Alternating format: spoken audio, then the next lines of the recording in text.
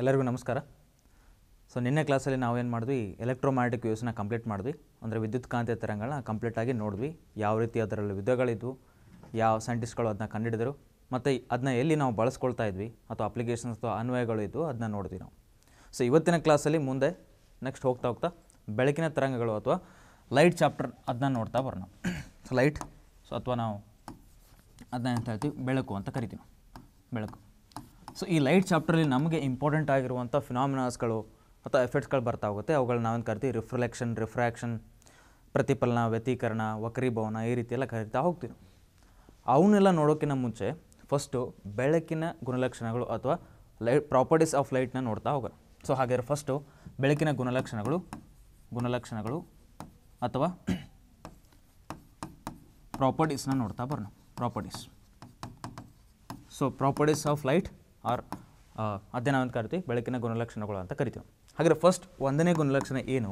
ನೋಡಿ, ಏನು ಹೇಳ್ತಂದರೆ ಬೆಳಕು ಲಾಸ್ಟ್ ಕ್ಲಾಸಲ್ಲಿ ನಾವು ನೋಡಿರೋ ಥರ ಬೆಳಕಿನ ನಾವೇನು ತರಂಗಗಳನ್ನ ವಿಭಜನೆ ಮಾಡ್ತಾ ಬರ್ತಾ ಇದ್ವಿ. ಒಂದು ಮಾಧ್ಯಮದ ಆಧಾರದ ಮೇಲೆ ವಿಭಜನೆ ಮಾಡಿದ್ವಿ, ಇನ್ನೊಂದು ಚಲನೆಯ ಆಧಾರದ ಮೇಲೆ ವಿಭಜನೆ ಮಾಡಿದ್ವಿ. ಸೊ ಅದರ ಆಧಾರದ ಮೇಲೆ ನಾವು ಬೆಳಕಿನ ಗುಣಲಕ್ಷಣಗಳನ್ನ ತೊಗೊಂಡ್ರೆ, ಬೆಳಕಿನ ತರಂಗಗಳು ಒಂದು ಯಾಂತ್ರಿಕವಲ್ಲದ ತರಂಗಗಳು ಯಾಂತ್ರಿಕವಲ್ಲದ ತರಂಗಗಳು ಯಾಂತ್ರಿಕವಲ್ಲದ ತರಂಗಗಳು, ಅಂದರೆ non mechanical waves non mechanical waves ಅಂದರೆ ಮೀನಿಂಗ್ ಏನಾಯಿತು? ನಾನ್ ಮೆಕ್ಯಾನಿಕಲ್ ವೇವ್ಸ್ ಅಂದರೆ ಮೀನಿಂಗ್ ಏನಾಯಿತು? ಬೆಳಕು ಒಂದು ಪ್ರದೇಶದಿಂದ ಇನ್ನೊಂದು ಪ್ರದೇಶಕ್ಕೆ ಚಲಿಸಬೇಕಾದ್ರೆ ಮೊದಲು ಯಾವುದೇ ಥರದ ಮಾಧ್ಯಮದ ಅವಶ್ಯಕತೆ ಇಲ್ಲ. That means it does not require any medium to travel from one place to another place so indirect meaning ಏನಾಯಿತು? ಬೆಳಕು ನಿರ್ವಾತ ಪ್ರದೇಶದಲ್ಲಿ ಚಲಿಸುತ್ತೆ ಅಂತ ಇಂಡೈರೆಕ್ಟ್ ಮೀನಿಂಗ್ ಅದು. So light can travel in vacuum okay ಇದ್ರದ್ದು ಇಂಡೈರೆಕ್ಟ್ ಮೀನಿಂಗ್ ಹಾಗಾದರೆ ಬೆಳಕಿನ ತರಂಗಗಳು ಒಂದು, ಯಾಂತ್ರಿಕವಲ್ಲದ ತರಂಗಗಳು, ಅಥವಾ ಅದನ್ನು ನಾನ್ ಮೆಕ್ಯಾನಿಕಲ್ ವೇವ್ಸ್ ಅಂತಲೂ ಕರಿತೀವಿ. ಅದೇ ರೀತಿ ಇನ್ನೊಂದು ಪ್ರಾಪರ್ಟಿ ಏನು ಬರುತ್ತೆ? ಬೆಳಕಿನ ತರಂಗಗಳು ಚಲನೆಯ ಆಧಾರದ ಮೇಲೆ, ಇದು ಮಾಧ್ಯಮದ ಆಧಾರದ ಮೇಲೆ ಆಯಿತು. ಇನ್ನೊಂದು ಚಲನೆಯ ಆಧಾರದ ಮೇಲೆ ಬೆಳಕಿನ ತರಂಗಗಳು ಏನು? ಬೆಳಕಿನ ತರಂಗಗಳು ಅಡ್ಡ ತರಂಗಗಳಾಗಿರ್ತವೆ. ಅಡ್ಡ ತರಂಗಗಳು. ಅಥವಾ ಅದನ್ನು ಒಂದು ಕರಿತೀವಿ ಟ್ರಾನ್ಸ್ಫರ್ಸ್ ವೇವ್ಸ್ ಅಂತ ಕರಿತೀವಿ. ಟ್ರಾನ್ಸ್ಫರ್ಸ್ ವೇವ್ಸ್ ಸೊ ಹಾಗಾದರೆ ಬೆಳಕು ಬೆಳಕು ಒಂದು ಪ್ರದೇಶದಿಂದ ಇನ್ನೊಂದು ಪ್ರದೇಶಕ್ಕೆ ಚಲಿಸಬೇಕಾದ್ರೆ ಅಡ್ಡ ತರಂಗಗಳು ಹೇಗೆ ಚಲಿಸ್ತಾ ಇರುತ್ತೆ? ಈ ರೀತಿ ಚಲಿಸ್ತಾ ಹೋಗುತ್ತೆ. ತರಂಗಗಳು ಈ ರೀತಿ ಚಲಿಸ್ತಾ ಇರುತ್ತೆ. ಟ್ರಾನ್ಸ್ಫರ್ಸ್ ವೇವ್ಸ್ ಅಂತ ಕರಿತೀವಿ ನಾವು. ಇದು ನಾವು ಕ್ರಸ್ಟ್ ಟಫ್ ಕ್ರಸ್ಟ್ ಟ್ರಫ್ ಅಂತ ಕರಿತೀವಿ. ಉಬ್ಬು ತಗ್ಗು, ಉಬ್ಬು ತಗ್ಗುಗಳ ಸಹಾಯದಿಂದ ಅದೇನಾಗ್ತಾ ಹೋಗುತ್ತೆ? ಒಂದು ಪ್ರದೇಶದಿಂದ ಇನ್ನೊಂದು ಪ್ರದೇಶಕ್ಕೆ ಚಲಿಸ್ತಾ ಹೋಗುತ್ತೆ. ಇದು ಮೊದಲನೇ ಪ್ರಾಪರ್ಟಿ ಅಥವಾ ಒಂದನೇ ಗುಣಲಕ್ಷಣ ಅಂತ ಹೇಳ್ತೀವಿ ನಾವು. ನೆಕ್ಸ್ಟ್ ಎರಡನೇ ಗುಣಲಕ್ಷಣ ಎರಡನೇ ಗುಣಲಕ್ಷಣ ಏನಂತಂದರೆ, ಇವಾಗಲೇ ನೋಡಿದ್ವಿ ನಾವು ಏನಂತ? ಬೆಳಕು ನಿರ್ವಾತ ಪ್ರದೇಶದಲ್ಲೂ ಚಲಿಸುತ್ತೆ ಅಂತ ನೋಡಿದ್ವಿ ನಾವು. ಹಾಗಾದರೆ ಬೆಳಕು ಚಲಿಸಬೇಕಾದ್ರೆ ಎಷ್ಟು ಸ್ಪೀಡಲ್ಲಿ ಚಲಿಸುತ್ತೆ ಅನ್ನೋದು ಗೊತ್ತಿರಬೇಕು. ಅದು ಎರಡನೇ ಗುಣಲಕ್ಷಣ ಆಗ್ತಾ ಹೋಗುತ್ತೆ. ಸೊ ಬೆಳಕು ನಿರ್ವಾತ ಪ್ರದೇಶದಲ್ಲಿ ಮ್ಯಾಕ್ಸಿಮಮ್ ಸ್ಪೀಡ್ ಅಥ ಅಥವಾ ಅತಿ ಹೆಚ್ಚಿನ ವೇಗದಿಂದ ಚಲಿಸ್ತಾ ಹೋಗುತ್ತೆ. ಎಲ್ಲಿ? ನಿರ್ವಾತ ಪ್ರದೇಶ ಅಥವಾ ವ್ಯಾಕ್ಯೂಮಲ್ಲಿ ಹಾಗಾದರೆ light speed in vacuum light speed ಅಥವಾ ನಾವೇನೋ ವೇಗ ಅಂತ ಹೇಳ್ತೀವಿ, ಎಲ್ಲಿ ಮ್ಯಾಕ್ಸಿಮಮ್ ಇರುತ್ತೆ? ವ್ಯಾಕ್ಯೂಮ್ ಅಥವಾ ನಿರ್ವಾ ನಿರ್ವಾತ ಪ್ರದೇಶದಲ್ಲಿ ಮ್ಯಾಕ್ಸಿಮಮ್ ಇರುತ್ತೆ. ಅದನ್ನ ನಾವು ಸಿ ಅಂತ ತೊಗೊಳ್ತೀವಿ. ಲೈಟ್ ಸ್ಪೀಡ್ನ ವ್ಯಾಕ್ಯೂಮಲ್ಲಿ ಸಿ ಅಂತ ತೊಗೊಳ್ತೀವಿ. ಎಷ್ಟಿರುತ್ತೆ? Three into ten to power of eight meter per second ಅಂತ ಹೇಳ್ತೀವಿ. ಇಷ್ಟು ಅದರ ವೇಗ ಯಾವುದರಲ್ಲಿ? ನಿರ್ವಾತ ಪ್ರದೇಶದಲ್ಲಿ. ಹೇಗೆ ವ್ಯಾಕ್ಯೂಮಲ್ಲಿ ಈ ಥರ ಇರುತ್ತೆ. ಹೇಗೆ ಅದು ಮೀಡಿಯಮಲ್ಲಿ ಅಥವಾ ಮಾಧ್ಯಮದಲ್ಲಿ ಚಲಿಸ್ತಾ ಹೋಗುತ್ತೆ, ಅದರ ಸ್ಪೀಡ್ ಅಥವಾ ಏನು ವೇಗ ಇದೆಯಲ್ಲ, ಅದು ಕಡಿಮೆ ಆಗ್ತಾ ಬರುತ್ತೆ. ಯಾಕೆ ಕಡಿಮೆ ಆಗ್ತಾ ಬರುತ್ತೆ ಅಂದರೆ, ಮಾಧ್ಯಮದಲ್ಲಿ ಅಥವಾ ಯಾವುದಾದ್ರು ಮೀಡಿಯಮಲ್ಲಿ ಪಾರ್ಟಿಕಲ್ಸ್ ಕಣಗಳಿರ್ತಾವಲ್ಲ, ಆ ಕಣಗಳ ಜೊತೆಗೆ ಲೈಟ್ ಹೋಗ್ತಿರ್ಬೇಕಾದ್ರೆ ಡಿಕ್ಕಿಯನ್ನು ಹೊಡೆಯುತ್ತೆ ಅಥವಾ ಕೊಲ್ಯೂಷನ್ನ ಮಾಡುತ್ತೆ. ಹೀಗಾಗಿ ಅದರ ವೇಗ ಕಡಿಮೆ ಆಗ್ತಾ ಬರುತ್ತೆ. Okay ನೆನಪಿಕೊಳ್ಳಿ so light speed is maximum vacuum and that is three into ten power of eight meter per second so ನಿರ್ವಾತ ಪ್ರದೇಶದಲ್ಲಿ ಬೆಳಕಿನ ವೇಗವು ಅತಿ ಹೆಚ್ಚು ಇರುತ್ತದೆ. ಅದು three into ten power of eight meter per second ಆಗಿರುತ್ತೆ. ಓಕೆ ನೆಕ್ಸ್ಟ್ ಮೂರನೇದು. ಇದೇ ವೇಗವನ್ನು ಇಟ್ಕೊಂಬಿಟ್ಟು ಯಾವುದು ಬೆಳಕು, ಇದೇ ವೇಗವನ್ನು ಇಟ್ಕೊಂಡ್ಬಿಟ್ಟು ಸೂರ್ಯನಿಂದ ಸೂರ್ಯನಿಂದ ಭೂಮಿಗೆ ಭೂಮಿಗೆ ಬಂದುಬಿಟ್ಟು ತಲುಪಬೇಕು ಅಂದರೆ ಇಷ್ಟೇನು ಡಿಸ್ಟೆನ್ಸ್ ಇದೆಯಲ್ಲ ಸೂರ್ಯನಿಂದ ಭೂಮಿಗೆ ಏನು ಡಿಸ್ಟೆನ್ಸ್ ಇದೆ? ಅಷ್ಟು ಡಿಸ್ಟೆನ್ಸು ಸೂರ್ಯನ ಬೆಳಕು ಚಲಿಸಬೇಕು ಅಂತಂದರೆ ಎಷ್ಟು ಟೈಮ್ ತೊಗೊಳತ್ತಂದರೆ ಎಂಟು ನಿಮಿಷ ಏಯ್ಟ್ ಮಿನಿಟ್ಸ್ ನೈನ್ಟೀನ್ ಸೆಕೆಂಡ್ಸ್ನ ತೊಗೊಳುತ್ತೆ. ಇದನ್ನ ಆಲ್ರೆಡಿ ಕ್ಯಾಲ್ಕುಲೇಟ್ ಮಾಡಿರೋದು. Previous year F D A question ಹೌದು ಇದು. ಹೀಗಾಗಿ ನೆನ್ಪಿಟ್ಕೊಳ್ಳಿ ಏಯ್ಟ್ ಮಿನಿಟ್ಸ್ ನೈನ್ಟೀನ್ ಸೆಕೆಂಡ್ಸ್ನ ತೊಗೊಳುತ್ತೆ. ಅದನ್ನ ಕಂಪ್ಲೀಟಾಗಿ ಮಿನಿಟ್ಸಲ್ಲಿ ಮಾಡಿದ್ರೆ ಏಯ್ಟ್ ಪಾಯಿಂಟ್ ತ್ರೀ ಮಿನಿಟ್ಸ್ ಅಂತ ಕರಿತೀವಿ ನಾವು. ಏಯ್ಟ್ ಪಾಯಿಂಟ್ ತ್ರೀ ಮಿನಿಟ್ಸ್ ತೊಗೊಳುತ್ತೆ. ಇದನ್ನ ನಾವೇನಾದ್ರು ಕಂಪ್ಲೀಟಾಗಿ ಸೆಕೆಂಡ್ಸಲ್ಲಿ ಮಾಡಿದ್ರೆ ಇದೇ ಸೇರುತ್ತೆ. ಫೋರ್ ನೈಂಟಿ ನೈನ್ ಸೆಕೆಂಡ್ಸ್ ಇರುತ್ತೆ. ಫೋರ್ ನೈಂಟಿ ನೈನ್ ಸೆಕೆಂಡ್ಸ್ ಇರುತ್ತೆ. ಹಾಗಾದ್ರೆ ಏನಾಯ್ತು ನೋಡಿ, ಸೂರ್ಯನ ಬೆಳಕು ಭೂಮಿಯನ್ನು ತಳ ತಲುಪಲಿಕ್ಕೆ ಎಷ್ಟು ಟೈಮ್ ತೊಗೊಳ್ತದೆ ಏಯ್ಟ್ ಮಿನಿಟ್ಸ್ ನೈನ್ಟೀನ್ ಸೆಕೆಂಡ್ಸ್ ತೊಗೊಳ್ತಾ ಇದೆ. ಅಥವಾ ಏಯ್ಟ್ ಪಾಯಿಂಟ್ ತ್ರೀ ಮಿನಿಟ್ಸ್ ಅಥವಾ ಅದೇ ನಾವು ಫೋರ್ ನೈಂಟಿ ನೈನ್ ಸೆಕೆಂಡ್ಸ್ ಅಂತ ನಾವು ಹೇಳ್ತೀವಿ. ಓಕೆ ಇದಾಯಿತು, ಸೂರ್ಯನ ಬೆಳಕು ಭೂಮಿಗೆ ತಲುಪಬೇಕಾದ್ರೆ. ಅದೇ, ಚಂದ್ರನ ಬೆಳಕು. ಚಂದ್ರನಿಗೆ ತನ್ನದೇ ಆಗಿರುವಂಥ ಬೆಳಕಿಲ್ಲ. ತನ್ನದೇ ಆಗಿರುವಂಥ ಬೆಳಕಿಲ್ಲ. ಬಟ್ ಹೇಗೆ ನಮಗೆ ಚಂದ್ರ ಕಾಣುತ್ತೆ ಅಂತಂದರೆ ಮೊದಲು ಸೂರ್ಯನಿಂದ ಬೆಳಕನ್ನು ಚಂದ್ರ ತಗೊಳುತ್ತೆ ಅದಾದಮೇಲೆ ಆ ಬೆಳಕನ್ನು ಚಂದ್ರ ಪ್ರತಿಫಲನೆ ಮಾಡುತ್ತೆ ಅಥವಾ ರಿಫ್ಲೆಕ್ಷನ್ ಮಾಡುತ್ತೆ. ಆ ರಿಫ್ಲೆಕ್ಷನ್ ಅಥವಾ ಪ್ರತಿಫಲನೆ ಆಗಿರುವಂಥ ಬೆಳಕು ಭೂಮಿ ಮೇಲೆ ಬಂದುಬಿಟ್ಟು ಬೀಳುತ್ತೆ. ಅದರಿಂದ ಚಂದ್ರ ಕಾಣ್ತಾ ಹೋಗುತ್ತೆ. ಓಕೆ ಹಾಗೆ ಏನಾಯಿತು? ಭೂ ಯಾವುದು? ಚಂದ್ರನಿಂದ ಪ್ರತಿಫಲನ ಆಗಿರುವಂಥ ಬೆಳಕು ಭೂಮಿಯ ಮೇಲೆ ಬಂದುಬಿಟ್ಟು ಸೇರಲಿಕ್ಕೆ ಎಷ್ಟು ಟೈಮ್ ತೊಗೊಳ್ತಾ ಇರುತ್ತೆ? ಅದು ತೊಗೊಳ್ಳೋದು one point two eight seconds ತೊಗೊಳ್ತಾ ಇರುತ್ತೆ. ಇದನ್ನು ಅಪ್ರಾಕ್ಸಿಮೇಟ್ಲಿ ನಾವು ಎಷ್ಟು ಎಷ್ಟು ತೊಗೊಳ್ತೀವಿ ಒನ್ ಪಾಯಿಂಟ್ ತ್ರೀ ಸೆಕೆಂಡ್ಸ್ ಅಂತ ತೊಗೊಳ್ತೀನಿ. One point three seconds okay so ಈ ಎರಡೂ ಕಾನ್ಸೆಪ್ಟ್ ನಿಮಗೆ ಗೊತ್ತಿರಬೇಕು. ಬೆಳಕಿನ ವೇಗ, ಅದರ ಆಧಾರದ ಮೇಲೆ ಈ ಡಿಸ್ಟೆನ್ಸನ್ನು ತೊಗೊಂಡ್ಬಿಟ್ಟು ಆ, ಎಷ್ಟು ಟೈಮ್ ತೊಗೊಳ್ತಾ ಇದೆ ಕ್ಯಾಲ್ಕುಲೇಟ್ ಮಾಡಿರೋದು. ಸೂರ್ಯನ ಬೆಳಕು ಭೂಮಿಗೆ ಬರಲಿಕ್ಕೆ ಏಯ್ಟ್ ಮಿನಿಟ್ಸ್ ನೈನ್ಟೀನ್ ಸೆಕೆಂಡ್ಸ್ ತೊಗೊಳುತ್ತೆ. ಅದೇ ಚಂದ್ರನ ಬೆಳಕು ಭೂಮಿಗೆ ಬರಲಿಕ್ಕೆ ಒನ್ ಪಾಯಿಂಟ್ ಟೂ ಸೆಕೆಂಡ್ಸ್ ಅಥವಾ one point two eight seconds ಅಥವಾ ಒನ್ ಪಾಯಿಂಟ್ ತ್ರೀ ಸೆಕೆಂಡ್ಸ್ ತೊಗೊಳುತ್ತೆ. ಓಕೆ ಇದಾಯಿತು. ಮೂರು ಗುಣಲಕ್ಷಣಗಳು. ಈ ಮೂರು ಗುಣಲಕ್ಷಣಗಳು ನಿಮಗೆಲ್ಲ ಅರ್ಥ ಆಗಿದೆ ಅಂತ ಅಂದ್ಕೊಳ್ತೀನಿ ಇವಾಗ ನೆಕ್ಸ್ಟ್ ನಾಲ್ಕನೇ ಗುಣಲಕ್ಷಣ ಅಥವಾ ನಾಲ್ಕನೇ ಪ್ರಾಪರ್ಟಿಗೆ ಹೋಗ್ತಾ ಹೋಗ್ತೀನಿ. ಓಕೆ ನೋಡ್ಕೊಳ್ಳಿ. ಅರ್ಥ ಆಗಿದೆಯಲ್ಲ? ಸೊ ನೆಕ್ಸ್ಟ್ ಸೊ ನಾಲ್ಕನೇ property fourth property of light rays or light waves ನಾಲ್ಕನೇ ಪ್ರಾಪರ್ಟಿ ಏನು ಹೇಳ್ತಂದರೆ ಬೆಳಕಿನ ಕಿರಣ. ಒಂದು ಬೆಳಕು ಬರ್ತಾ ಇದೆ ಅಂದರೆ ಬಿಳಿ ಬಣ್ಣದ ಬೆಳಕು ಬರ್ತಾ ಇರುತ್ತೆ. ಸೂರ್ಯನ ಸೂರ್ಯನಿಂದ ಒಂದು ಬೆಳಕು ಬರ್ತಾ ಇದೆ ಅಂದರೆ ಬಿಳಿ ಬಣ್ಣದಾಗಿ ಬರ್ತಾ ಇರುತ್ತೆ. ಅದನ್ನು ನಿನ್ನೆ ಕ್ಲಾಸಲ್ಲಿ ಎಲೆಕ್ಟ್ರೋಮ್ಯಾಟಿಕ್ ವ್ಯೂಸಲ್ಲಿ ಅಥವಾ ವಿದ್ಯುತ್ ಕಾಂತೀಯ ತರಂಗಗಳಲ್ಲಿ ಏನಂತ ನೋಡಿದ್ವಿ ನಾವು? ದೃಗ್ಗೋಚರ ಬೆಳಕು ಅಥವಾ ವಿಸಿಬಲ್ ಲೈಟ್ ಅಂತ ನೋಡಿದ್ವಿ ನಾವು. ಅದನ್ನು ಕಂಡುಹಿಡಿದವರು ಯಾರು? ದೃಗ್ಗೋಚರ ಬೆಳಕು ಅಥವಾ ವಿಸಿಬಲ್ ಲೈಟ್ನ ಕಂಡುಹಿಡಿದವರು ನ್ಯೂಟನ್ ಅವರು ಕಂಡುಹಿಡಿದಿದ್ದು ಓಕೆ ಆ ದೃಗ್ಗೋಚರ ಬೆಳಕು ಅಥವಾ ವಿಸಿಬಲ್ ಲೈಟಲ್ಲಿ ನಮಗೆ ಏಳು ಬಣ್ಣದ ಕಲರ್ಸ್ಗಳಿದ್ದಾವೆ ಸೊ ಏಳು ಬಣ್ಣಗಳಿದ್ದಾವೆ ಆ ಏಳು ಬಣ್ಣಗಳು ಆ ಬಿಳಿ ಬಣ್ಣದ ಬೆಳಕಿನಲ್ಲಿ ಇರೋದು. ಆ ಏಳು ಬಣ್ಣಗಳು ಇರೋದು ಯಾವುದು? ವಿಬ್ ಗಯಾರ್ ಅಂತ ನಮ್ಗೆ ಗೊತ್ತು. ಸೊ ಅದನ್ನ ನಾವು ಈ ಥರ ಬರೆದ್ರೆ ವಿಬ್ ಗಯಾರ್ ವಿಬ್ ಗಯಾರ್ ಅಂತ ಹೇಳ್ತೀನಿ. ಹಾಗಾದರೆ ಇದನ್ನು ನಾವು ಏನಂತ ಅರೇಂಜ್ ಮಾಡಿದ್ವಿ? Violet indigo blue green yellow orange red VIBGYOR ಅಂತ ಕರಿತೀವಿ ನಾವು. ಇಷ್ಟು ಸೇರಿ ನಾವು ಅದನ್ನ ವಿಸಿಬಲ್ ಲೈಟ್ ಅಥವಾ ದೃಗ್ಗೋಚರ ಬೆಳಕು ಅಂತ ಕರಿತೀವಿ ವಿಸಿಬಲ್ ಲೈಟ್ ಅಥವಾ ಅದನ್ನ ನಾವು ದೃಗ್ಗೋಚರ ಬೆಳಕು ಅಂತ ಕರಿತೀವಿ. ದೃಗ್ಗೋಚರ ಬೆಳಕು ಅಂತ ಹೇಳ್ತೀವಿ. ಓಕೆ ಸೊ ಯಾವುದರ ಆಧಾರದ ಮೇಲೆ ಇವುಗಳನ್ನ ಈ ರೀತಿ ವಿಭಜನೆ ಮಾಡಿದ್ವಿ? ಯಾವುದರ ಆಧಾರದ ಮೇಲೆ ಇದನ್ನ ವಿಭಜನೆ ಮಾಡಿದ್ವಿ ಅಂದರೆ ತರಂಗ ದೂರ ಅಥವಾ ವೇವ್ಲೆಂತ್ ಆಧಾರದ ಮೇಲೆ ಈ ಥರ ವಿಭಜನೆ ಮಾಡಿದ್ವಿ. ಸೊ ನಿನ್ನೆ ಕ್ಲಾಸಲ್ಲಿ ನೋಡಿದ್ವಿ ನಾವು. ತರಂಗ ದೂರ ಅಂದ್ರೇನು ಅಂತ ನಿನ್ನೆ ಕ್ಲಾಸಲ್ಲಿ ನೋಡಿದ್ವಿ. ಈ ರೀತಿ ತರಂಗ ಇದೆ ಅಂತಂದರೆ, ತರಂಗ ಇದೆ ಅಂತಂದರೆ ಇದನ್ನು ಒಂದು ತರಂಗ ಅಂತ ಹೇಳ್ತೀವಿ. ಇದರ ಮಧ್ಯದಲ್ಲಿರುವಂಥ ದೂರವನ್ನು ಅಥವಾ ಡಿಸ್ಟೆನ್ಸನ್ನು ನಾವು ಕರಿತೀವಿ? ವೇವ್ ಲೆಂತ್ ಅಥವಾ ತರಂಗ ದೂರ ಅಂತ ಕರಿತೀವಿ. ಓಕೆ ಆ ತರಂಗ ದೂರದ ಆಧಾರದ ಮೇಲೆ ನಾವು ಈ ರೀತಿ ಇದನ್ನ ವಿಭಜನೆ ಮಾಡಿದ್ವಿ. ಹಾಗಾದರೆ ಆ ತರಂಗ ದೂರ ಯಾವುದ್ರದ್ದು ಹೆಚ್ಚಿಗೆ ಇದೆ, ಯಾವುದ್ರದ್ದು ಕಡಿಮೆ ಇದೆ ಅಂತಲೂ ಗೊತ್ತಿರಬೇಕು. ಓಕೆ ಅತಿ ಹೆಚ್ಚಿಗೆ ತರಂಗ ದೂರ ಹೊಂದಿರುವಂಥ ಬಣ್ಣ ಯಾವುದರಲ್ಲಿ? ಬೆಳ, ಬಿಳಿ ಬಣ್ಣದ, ಬಿಳಿ ಬೆಳಕಿನಲ್ಲಿ ಯಾವ ಬಣ್ಣ ಅತಿ ಹೆಚ್ಚು ತರಂಗ ದೂರನ ಹೊಂದಿದೆ ಅಂತಂದರೆ ಕೆಂಪು ಬಣ್ಣ ಅತಿ ಹೆಚ್ಚು ತರಂಗ ದೂರವನ್ನು ಹೊಂದಿದೆ. ಇದೆಷ್ಟಿರುತ್ತೆ? ಸೆವೆನ್ ಹಂಡ್ರೆಡ್ ನ್ಯಾನೋಮೀಟರ್ ಇರುತ್ತೆ. Seven hundred nanometer. ನ್ಯಾನೋಮೀಟರ್ ಅಂತಂದರೆ ಇದು ನಾವು ಟೆನ್ ಪರ್ ಆಫ್ ಮೈನಸ್ ನೈನಲ್ಲಿ ಬರಿತೀವಿ. Ten power of minus nine ನಾವು ನ್ಯಾನೋಮೀಟರ್ ಅಂತ ಕರೆಯೋದು. ಓಕೆ? ಸೊ ಇಷ್ಟೊಂದು ಅದರದೇನೆ ತರಂಗ ದೂರ ಇದೆ. ಬಟ್ ಅದೇ ವೈಲೆಟ್ ಕಲರ್ ಬಂದಾಗ ವೈಲೆಟ್ ಕಲರ್ ಬಂದಾಗ ಇದರ ತರಂಗ ದೂರ ಎಷ್ಟು ಬರುತ್ತೆ? Almost all nine four hundred nanometer ಅಂತ ಕರಿತೀವಿ. ಫೋರ್ ಹಂಡ್ರೆಡ್ ನ್ಯಾನೋಮೀಟರ್ ಅಂತ ಕರಿತೀವಿ. ಸೊ ಅಬ್ಸರ್ವ್ ಮಾಡಿ. ಎರಡು ನ್ಯಾನೋಮೀಟರಲ್ಲೇ ತೋರಿಸ್ತಾ ಇದ್ದೀವಿ ಹಾಗಾದರೆ ಅತಿ ಹೆಚ್ಚಿಗೆ ತರಂಗ ದೂರ ಹೊಂದಿರೋದು ಯಾವುದು? ರೆಡ್ ಇದೆ. ಅತಿ ಕಡಿಮೆ ತರಂಗ ದೂರ ಹೊಂದಿರೋದು ವೈಲೆಟ್ ಇದೆ. ಓಕೆ ಸೊ ನಿನ್ನೆ ಕ್ಲಾಸಲ್ಲಿ ನಾವು ನೋಡಿದ್ವು ತರಂಗ ದೂರ ಮತ್ತು ಫ್ರೀಕ್ವೆನ್ಸಿ ಆವೃತ್ತಿಗೆ ಹೆಂಗೆ ರಿಲೇಷನ್ ಇದೆ? ಯೂನಿವರ್ಸಿ ಪ್ರಪೋರ್ಷನಲ್ ಯೂನಿವರ್ಸಿ ಪ್ರಪೋರ್ಷನಲ್ ಹಾಗಿದ್ರೆ ಇವಾಗ ನಾವು ಇದನ್ನ ಅರೇಂಜ್ ಮಾಡಿರೋದು ತರಂಗ ದೂರದ ಇಳಿಕೆ ಕ್ರಮದಲ್ಲಿ ನಾವು ಇದನ್ನ ಅರೇಂಜ್ ಮಾಡಿದ್ವಿ. ತರಂಗ ದೂರದ ಇಳಿಕೆ ಕ್ರಮದಲ್ಲಿ ಅರೇಂಜ್ ಮಾಡಿದ್ವಿ. ಅದೇ ಫ್ರೀಕ್ವೆನ್ಸಿ ಆಧಾರದ ಮೇಲೆ ಚೆಕ್ ಮಾಡಿ ನೋಡಿ. ಸೊ ಫ್ರೀಕ್ವೆನ್ಸಿ ಆಧಾರದ ಮೇಲೆ ನಾವು ಇದನ್ನೇನಾದರೂ ಚೆಕ್ ಮಾಡಿ ನೋಡಿದ್ರೆ ಯಾವ ರೀತಿ ಬರುತ್ತೆ ನೋಡಿ? ಈ ಥರ ಫ್ರೀಕ್ವೆನ್ಸಿ ತೊಗೊಂಡ್ರೆ ಯಾವಾಗಲೂ ರಿವರ್ಸ್ ಇರಬೇಕಲ್ಲ? ಇದು ಇಳಿಕೆ ಕ್ರಮದಲ್ಲಿದೆ ಅಂದರೆ ಇದು ಏರಿಕೆ ಕ್ರಮದಲ್ಲಿ ಇರುತ್ತೆ. ಏರಿಕೆ ಕ್ರಮದಲ್ಲಿ ಇರುತ್ತೆ. ಅಂದರೆ ಮೀನಿಂಗ್ ಏನಾಯಿತು? ಅತಿ ಹೆಚ್ಚು ಫ್ರೀಕ್ವೆನ್ಸಿ ಅಥವಾ ಅತಿ ಹೆಚ್ಚು ಆವೃತ್ತಿನ ಹೊಂದಿರೋದು ಯಾವುದು? ವೈಲೆಟ್ ಅತಿ ಕಡಿಮೆ ಫ್ರೀಕ್ವೆನ್ಸಿ ಅಥವಾ ಅತಿ ಕಡಿಮೆ ಆವೃತ್ತಿನ ಹೊಂದಿರುವಂಥ ಒಂದು ಬಣ್ಣ ಯಾವುದು? ರೆಡ್ ಅಥವಾ ಕೆಂಪು ಬಣ್ಣ ಹೊಂದಿರೋದು. ಓಕೆ ಇದಾದಮೇಲೆ ನಾವು ನೋಡಿರೋದು ಏನು ನೋಡಿದ್ವಿ? ಅದೇ ಫ್ರಿಕ್ವೆ ಅದು ಯಾವುದು? ವೇವ್ಲೆಂತ್ ಅಥವಾ ತರಂಗ ದೂರದ ಆಧಾರದ ಮೇಲೆ ಬೇರೆ ಬೇರೆ ಎಲೆಕ್ಟ್ರೋಮ್ಯಾಟಿಕ್ ವೇವ್ಸ್ ವಿಸಿಬಲ್ ಲೈಟಿಂದ ಹಿಂದೆನೂ ಇತ್ತು ವಿಸಿಬಲ್ ಲೈಟ್ ಆದ ಆದಮೇಲೂ ಎಲೆಕ್ಟ್ರೋಮ್ಯಾಟಿಕ್ ವೇವ್ಸ್ ಅಥವಾ ವಿದ್ಯುತ್ ಕಾಂತೀಯ ತರಂಗಗಳು ಇತ್ತು. ಇವಾಗ ಅವು ಅವುಗಳನ್ನ ಇಲ್ಲಿ ಅರೇಂಜ್ ಮಾಡಿ ನೋಡಿದ್ರೆ ಯಾವ ರೀತಿ ಬರುತ್ತೆ? ಓಕೆ ಅವುಗಳನ್ನ ಇಲ್ಲಿ ಅರೇಂಜ್ ಮಾಡಿ ನೋಡಿದ್ರೆ ಇಲ್ಲಿ ಯಾವ್ದು ಬರುತ್ತೆ ಅಂದರೆ, ಇದಾದಮೇಲೆ ನೆಕ್ಸ್ಟ್ ಯಾವ್ದು ಬರುತ್ತೆ? ಅಲ್ಟ್ರಾ ವಾಲೆಟ್ ರೇಸ್ ಬರುತ್ತೆ.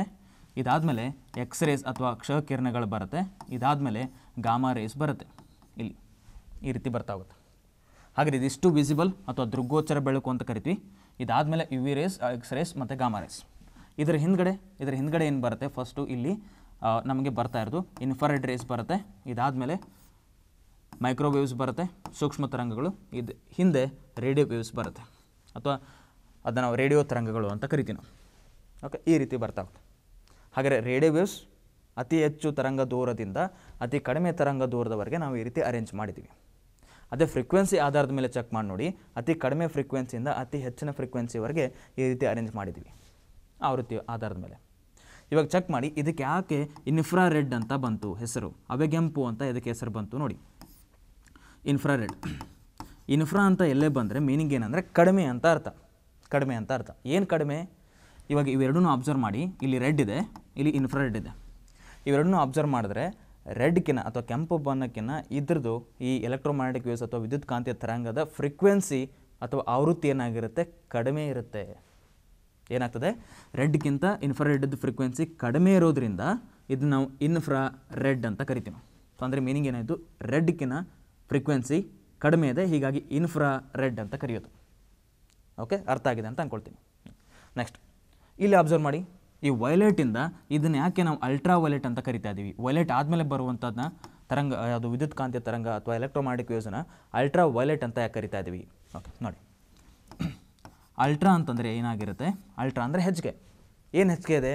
ವೈಲೆಟ್ಗಿಂತ ಈ ವಿದ್ಯುತ್ ಕಾಂತೀಯ ತರಂಗ ಅಥವಾ ಎಲೆಕ್ಟ್ರೋಮ್ಯಾಟಿಕ್ ವೇವ್ಸದು ಫ್ರೀಕ್ವೆನ್ಸಿ ಹೆಚ್ಚಿಗೆ ಇದೆ.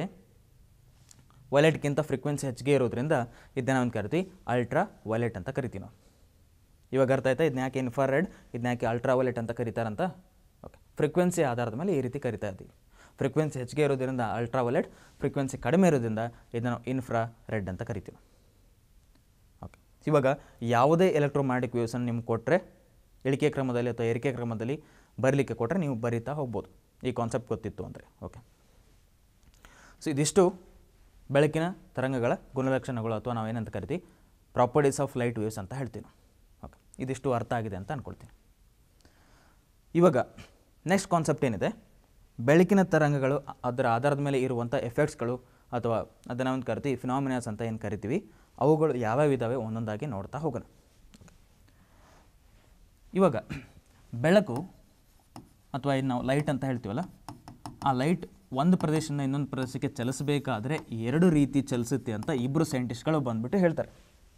ಅಂದರೆ ಹೇಗೆ? ಒಂದು ಪ್ರದೇಶದಿಂದ ಇನ್ನೊಂದು ಪ್ರದೇಶಕ್ಕೆ ಚಲಿಸಬೇಕಾದ್ರೆ ಒಬ್ಬರೇನು ಹೇಳ್ತಾರೆ? ಯಾವಾಗಲೂ ಅದು ಸ್ಟ್ರೇಟ್ ಲೈನಲ್ಲಿ ಅಥವಾ ಸರಳ ರೇಖೆಯಲ್ಲಿ ಚಲಿಸುತ್ತೆ ಅಂತ ಒಬ್ರು ಹೇಳ್ತಾರೆ. ಅದನ್ನು ಹೇಳಿದವರು ಯಾರು? ನ್ಯೂಟನ್ ಅವರು ಹೇಳ್ತಾರೆ. ನ್ಯೂಟನ್ ಅವರು ಹೇಳ್ತಾರೆ. ನ್ಯೂಟನ್. ಸೊ ನ್ಯೂಟನ್ ಅವ್ರು ಏನು ಹೇಳ್ತಾರೆ? ಯಾವಾಗಲೂ ಬೆಳಕು ಒಂದೇ ಸರಳ ರೇಖೆಯಲ್ಲಿ ಅಥವಾ ಸ್ಟ್ರೇಟ್ ಪಾತಲ್ಲಿ ಚಲಿಸುತ್ತೆ ಅಂತ ಹೇಳ್ತಾರೆ. ಈ ಥರದ ಕಾನ್ಸೆಪ್ಟನ್ನ ನಾವೇನಂತ ಕರಿತೀವಿ? ಪಾರ್ಟಿಕಲ್ ನೇಚರ್ ಆಫ್ ಲೈಟ್ ಅಥವಾ ರೇ ನೇಚರ್ ಆಫ್ ಲೈಟ್ ಅಂತ ಕರಿತೀವಿ. ಸೊ ಅವರು ಕೊಟ್ಟಿರುವಂಥ ಸಿದ್ಧಾಂತವನ್ನು ನಾವು ಕರಿತೀವಿ? ಕನ ಸಿದ್ಧಾಂತ ಅಂತ ಕರಿತೀವಿ. ಬೆಳಕಿನ ಕನ ಸಿದ್ಧಾಂತ ಅಂತ ಕರಿತೀವಿ. ಬೆಳಕಿನ ಕನ ಸಿದ್ಧಾಂತ ಅಥವಾ ಅದೇನೋ ಅಂತ ಕರಿತೀವಿ? Particle nature of light particle nature of light or else it is also ಕೋಡಸ್ as ray nature of light ray nature of light ray nature of light ಅಂದರೆ ಮೀನಿಂಗ್ ಏನಾಯಿತು? ಇವ್ರ ಪ್ರಕಾರ ಏನಾಗ್ತಿದೆ? ಬೆಳಕು ಒಂದು ಪ್ರದೇಶದಿಂದ ಪ್ರದೇಶಕ್ಕೆ ಹೋಗ್ತಿರ್ಬೇಕಾದ್ರೆ ಸ್ಟ್ರೇಟ್ ಲೈನಲ್ಲಿ ಅಥವಾ ಒಂದೇ ಸರಳ ರೇಖೆಯಲ್ಲಿ ಚಲಿಸುತ್ತೆ ಅಂತ ಯಾರು ಹೇಳ್ತಾರೆ? ನ್ಯೂಟನ್ ಅವರು ನಮಗೆ ಹೇಳ್ತಾರೆ. ಬಟ್ ಇದಾದಮೇಲೆ ಇನ್ನೊಬ್ಬರು ಸೈಂಟಿಸ್ಟ್ ಬಂದ್ಬಿಟ್ಟು ಏನು ಹೇಳ್ತಾರೆ? ಇಲ್ಲ, ಇದು ಸರಳ ರೇಖೆಯಲ್ಲಿ ಚಲಿಸಲ್ಲ, ಇದೇನಾಗ್ತಾ ಇರುತ್ತೆ? ತರಂಗದ ಆಧಾರದ ಮೇಲೆ ಚಲಿಸ್ತಾ ಹೋಗುತ್ತೆ, ಅಡ್ಡ ತರಂಗದ ಆಧಾರದ ಮೇಲೆ ಚಲಿಸ್ತಾ ಹೋಗುತ್ತೆ ಅಂತ ಹೇಳ್ಬಿಟ್ಟು ಏನು ಮಾಡ್ತಾರೆ? ಇನ್ನೊಬ್ಬರು ಸೈಂಟಿಸ್ಟ್ ಹೇಳ್ತಾರೆ, ಅವ್ರ ಹೆಸರು ನಾವೆಂತ ಕರಿತೀವಿ? ಕ್ರಿಶ್ಚಿಯನ್ ಹ್ಯೂಗನ್ಸ್ ಅಂತ ಕರಿತೀವಿ so Christian Huygens Christian Huygens Christian Huygens.